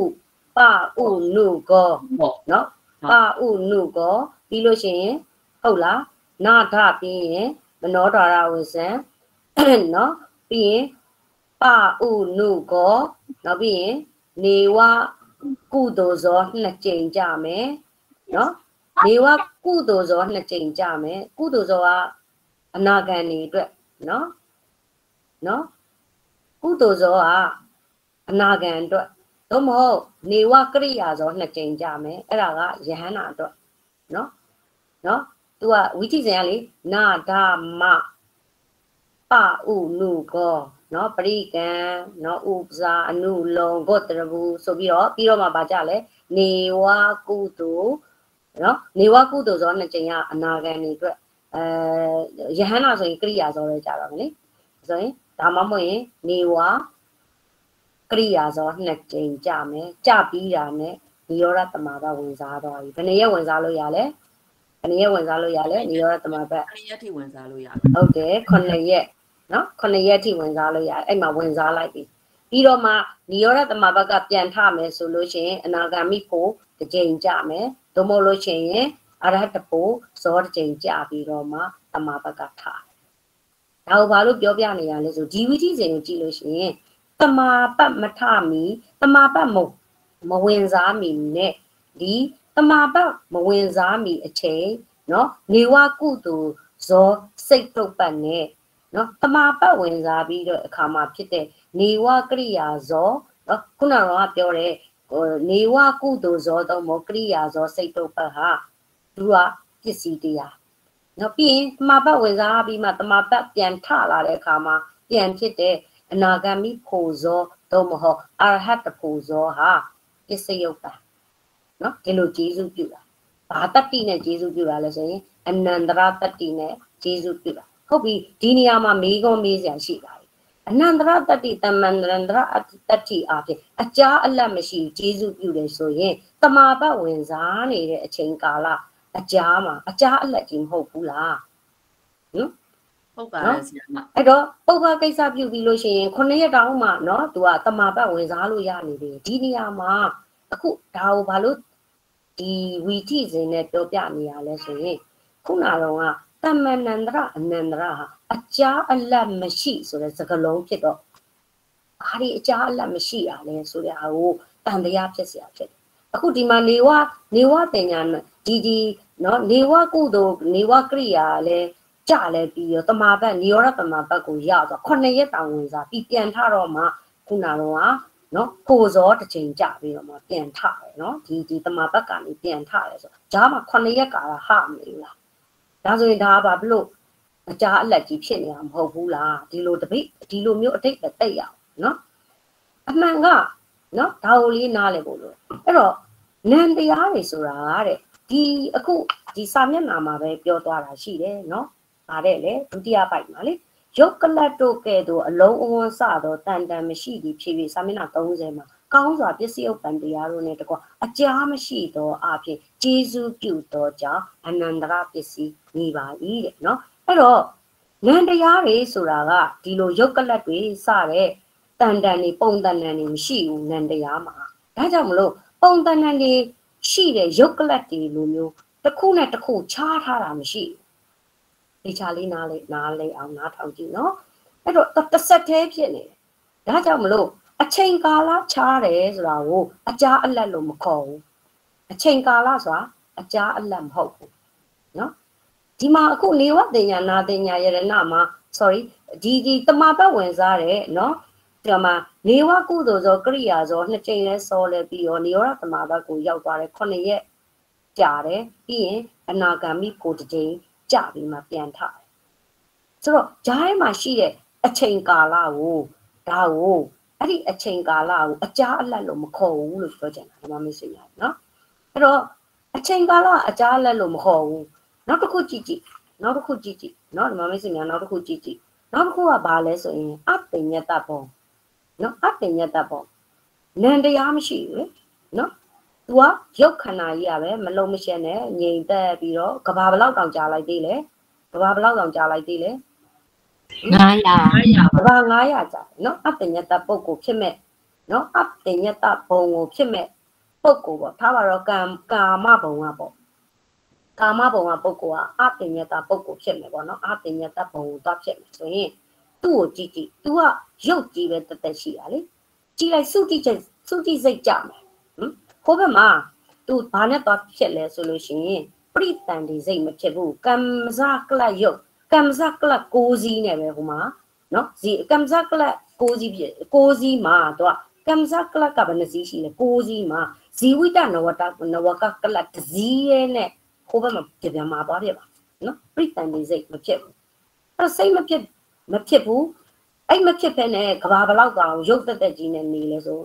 900နော်ကဘာ900သူတက်တန်းကုန်လို့စုကြည့်လို့ရှိရင်စိတ်မရှိလို့စုကြည့်စိတ်လည်းမဖြစ်ဘူးဒီပထမသူဟိုဘက်ကိုနော်သူ့ရဲ့သွားပြီးဖြစ်တာကနော်ဇီဝိတနဝကကလတ်တစည်းနဲ့ဟိုဘက်မှာသွားဖြစ်တာနော်အဲ့မှာကဘာတက်900တက်တန်းကုန်တဲ့အတွက်စုကြည့်လို့ရှိရင်စုကြည့်စိတ်မဖြစ်ဘူးနောက်ထပ် ရုပ်နဲ့အသက်မှာသူကသွားပြီးတော့ပြိတန်နေစိတ်ပဲသွားဖြစ်မယ်အဲဆိုသူရဲ့သုတိနဲ့ပြိတန်တွေကခုနကတော့ကာမကာမဘုက sorry ကာမဘုံမှာသူကနော်ဒီဘက်ကိုဟိုအတိညာတဘုံကိုသွားမယ်ဘုံကိုသူသွားတဲ့ခါမှာဇီဝိကနောကကလနဲ့သွားတယ်သူရဲ့နောက်ဆုံးဖြစ်ခဲ့တဲ့စိတ်ကဒီဘက်ကကာမဘုံမှာသုတိစိတ်ကြောက်ခဲ့မယ်အဲ့ဒီမှာ तू သုတိရဲ့စိတ်စိတ်တခါဒီဘက်ကနောဟိုဟာပေါ့နော် အဲမြမဘုံကိုရောက်နေတော့လေ तू ကရုပ်ကြီးပဲတက်တက်ဆိုတော့စုတိစရာစိတ်မရှိတဲ့ခါကျတော့ तू ဘာနဲ့ပဲသွားရလဲဆိုတဲ့ခါကျတော့ဒီဘက်မှာတော့ပရိတန်တွေသွားပြီးတော့အဲ့တော့ဒီဘက်ကာမကာမဘုံဘက်မှာစုတိစိတ်ကြခဲ့တယ်ကာမဘုံမှာပဲပရိတန်တွေစိတ်တစ်ခါသွားပြန်ပြီးတော့ကြာတယ်ဆိုလိုတာကအတ္တဉ္တဘုံကိုမရောက်နေဖြစ်နေခဲ့တဲ့ကာမဘုံမှာစုတိစိတ်စိတ်တုတ်ဘက်ကပစ္စည်းဖြစ်ပြီးအပညာတဘုံကနေပြီးတော့တက်တန်းကုန်လို့စိတိတော့ စုတိစိတ်မဖြစ်တော့ဘဲနဲ့တဖန်ဖြစ်မဲ့ကာမဘုံဆိုပါတော့အဲ့ကာမဘုံမှာပရိတန်နေစိတ်တုတ်ပတ်နဲ့ဖြစ်တယ်အဲ့ဒီပရိတန်ဒီစိတ်စိတ်တုတ်ဘက်ကပစ္စည်းယုတ်ပတ်ဖြစ်တယ်ဒါဆိုရင်အဲ့ကဘာ900ဖြစ်ခဲ့တဲ့အပညာတကအကြာအလတ်မဟုတ်ဘူးနော်အချိန်ကာလမဟုတ်ဘူးလို့ပြောထားတယ်လေနော်မဟုတ်ဘူးနော်အချိန်ကာလအကြာအလတ်မဟုတ်ဘူးနော်ရုပ်နံတွေကအကြာအလတ်မဟုတ်ဘူးနော် သူ့မှာဘာအကြာအလတ်မှမရှိဘူးစိတ်မှာအဲ့ဒီတန်တန်နေမရှိဘူးပုံတန်တန်နေမရှိဘူးအချိန်ကာလမရှိဘူးအဲ့ဒီလိုမျိုးမရှိတာဖြစ်တဲ့အတွက်ကြောင့်မလို့သူကအဲ့ဒီအချိန်ကာလတွေရုပ်တန်တန်တွေကိုအကြာအလတ်လို့သွားယူလို့မရဘူးအဲ့တော့အကြာအလတ်မဟုတ်ဘူးနော်မဟုတ်ဘူးအဲ့တော့ကာမဘုံမှာဖြစ်ခဲ့တဲ့ဒီစုတိစိတ်တို့ဘက်နဲ့တပံပံပြန်ဖြစ်တဲ့ကာမဘုံကပြိတန်လေးစိတ်တို့ဘက်တို့ရဲ့အကြားမှာချားမနေဘူး အဲ့ဒီလိုမချားဘဲနဲ့သူအနန္တရတတ္တိနဲ့ကျေးဇူးပြုတာဒါကြောင့်ရုပ်တရားတွေအချိန်ကာလတွေကိုအကြားအလက်မခေါ်ရပါဘူးတဲ့နော်ဓမ္မမိတ်ဆွေများနော်အဲ့တော့ပါဠိမှာတော့သူကအနန္တရပစ္စယောဒီဆိုပြီးတော့เนาะအနန္တရပစ္စည်းဟူသောကဆိုပြီးတော့မှသူဟွာဟွာလောက်ထားတာရှိတယ်ပေါ့နော်ကဲဒါဆိုရင်ဓမ္မမိတ်ဆွေများစာမေးပွဲဖြေဖို့အတွက်ကိုဟွာဖြစ်မှဆိုလို့အဲ15မိနစ် အချိန်ရှိတယ်နော်9မိနစ်ပို့ပေးမယ်ဆိုတဲ့အခါကျတော့ဟုတ်ပြီဓမ္မမိတ်ဆွေများစာမေးပွဲဖြေကြမယ်နော်ဒီဟာကိုဒီနေရာလေးမှာပဲအဆုံးသတ်လိုက်မယ်နော်အဆုံးသတ်ပြီးတော့စာမေးပွဲဖြေမယ်စာရရရဲ့လားစာရရရဲ့လားတမန်န္တရပစ္စည်းကစိတ်မပူနဲ့နောက်တစ်ပတ်ကြာရင်ပြန်ထပ်ရှင်းပြအောင်မယ်နော်နည်းနည်းရှုပ်နေတယ်ဆိုရင်ဟိုဟိုဟာတွေကနေဘာလဲအမ် messenger ဟုတ်ပါဘူး viber တွေကနေမေးကြနော် ဟုတ်ပြီအဲ့ဆိုရင်အဲ recording ပိတ်လိုက်အောင်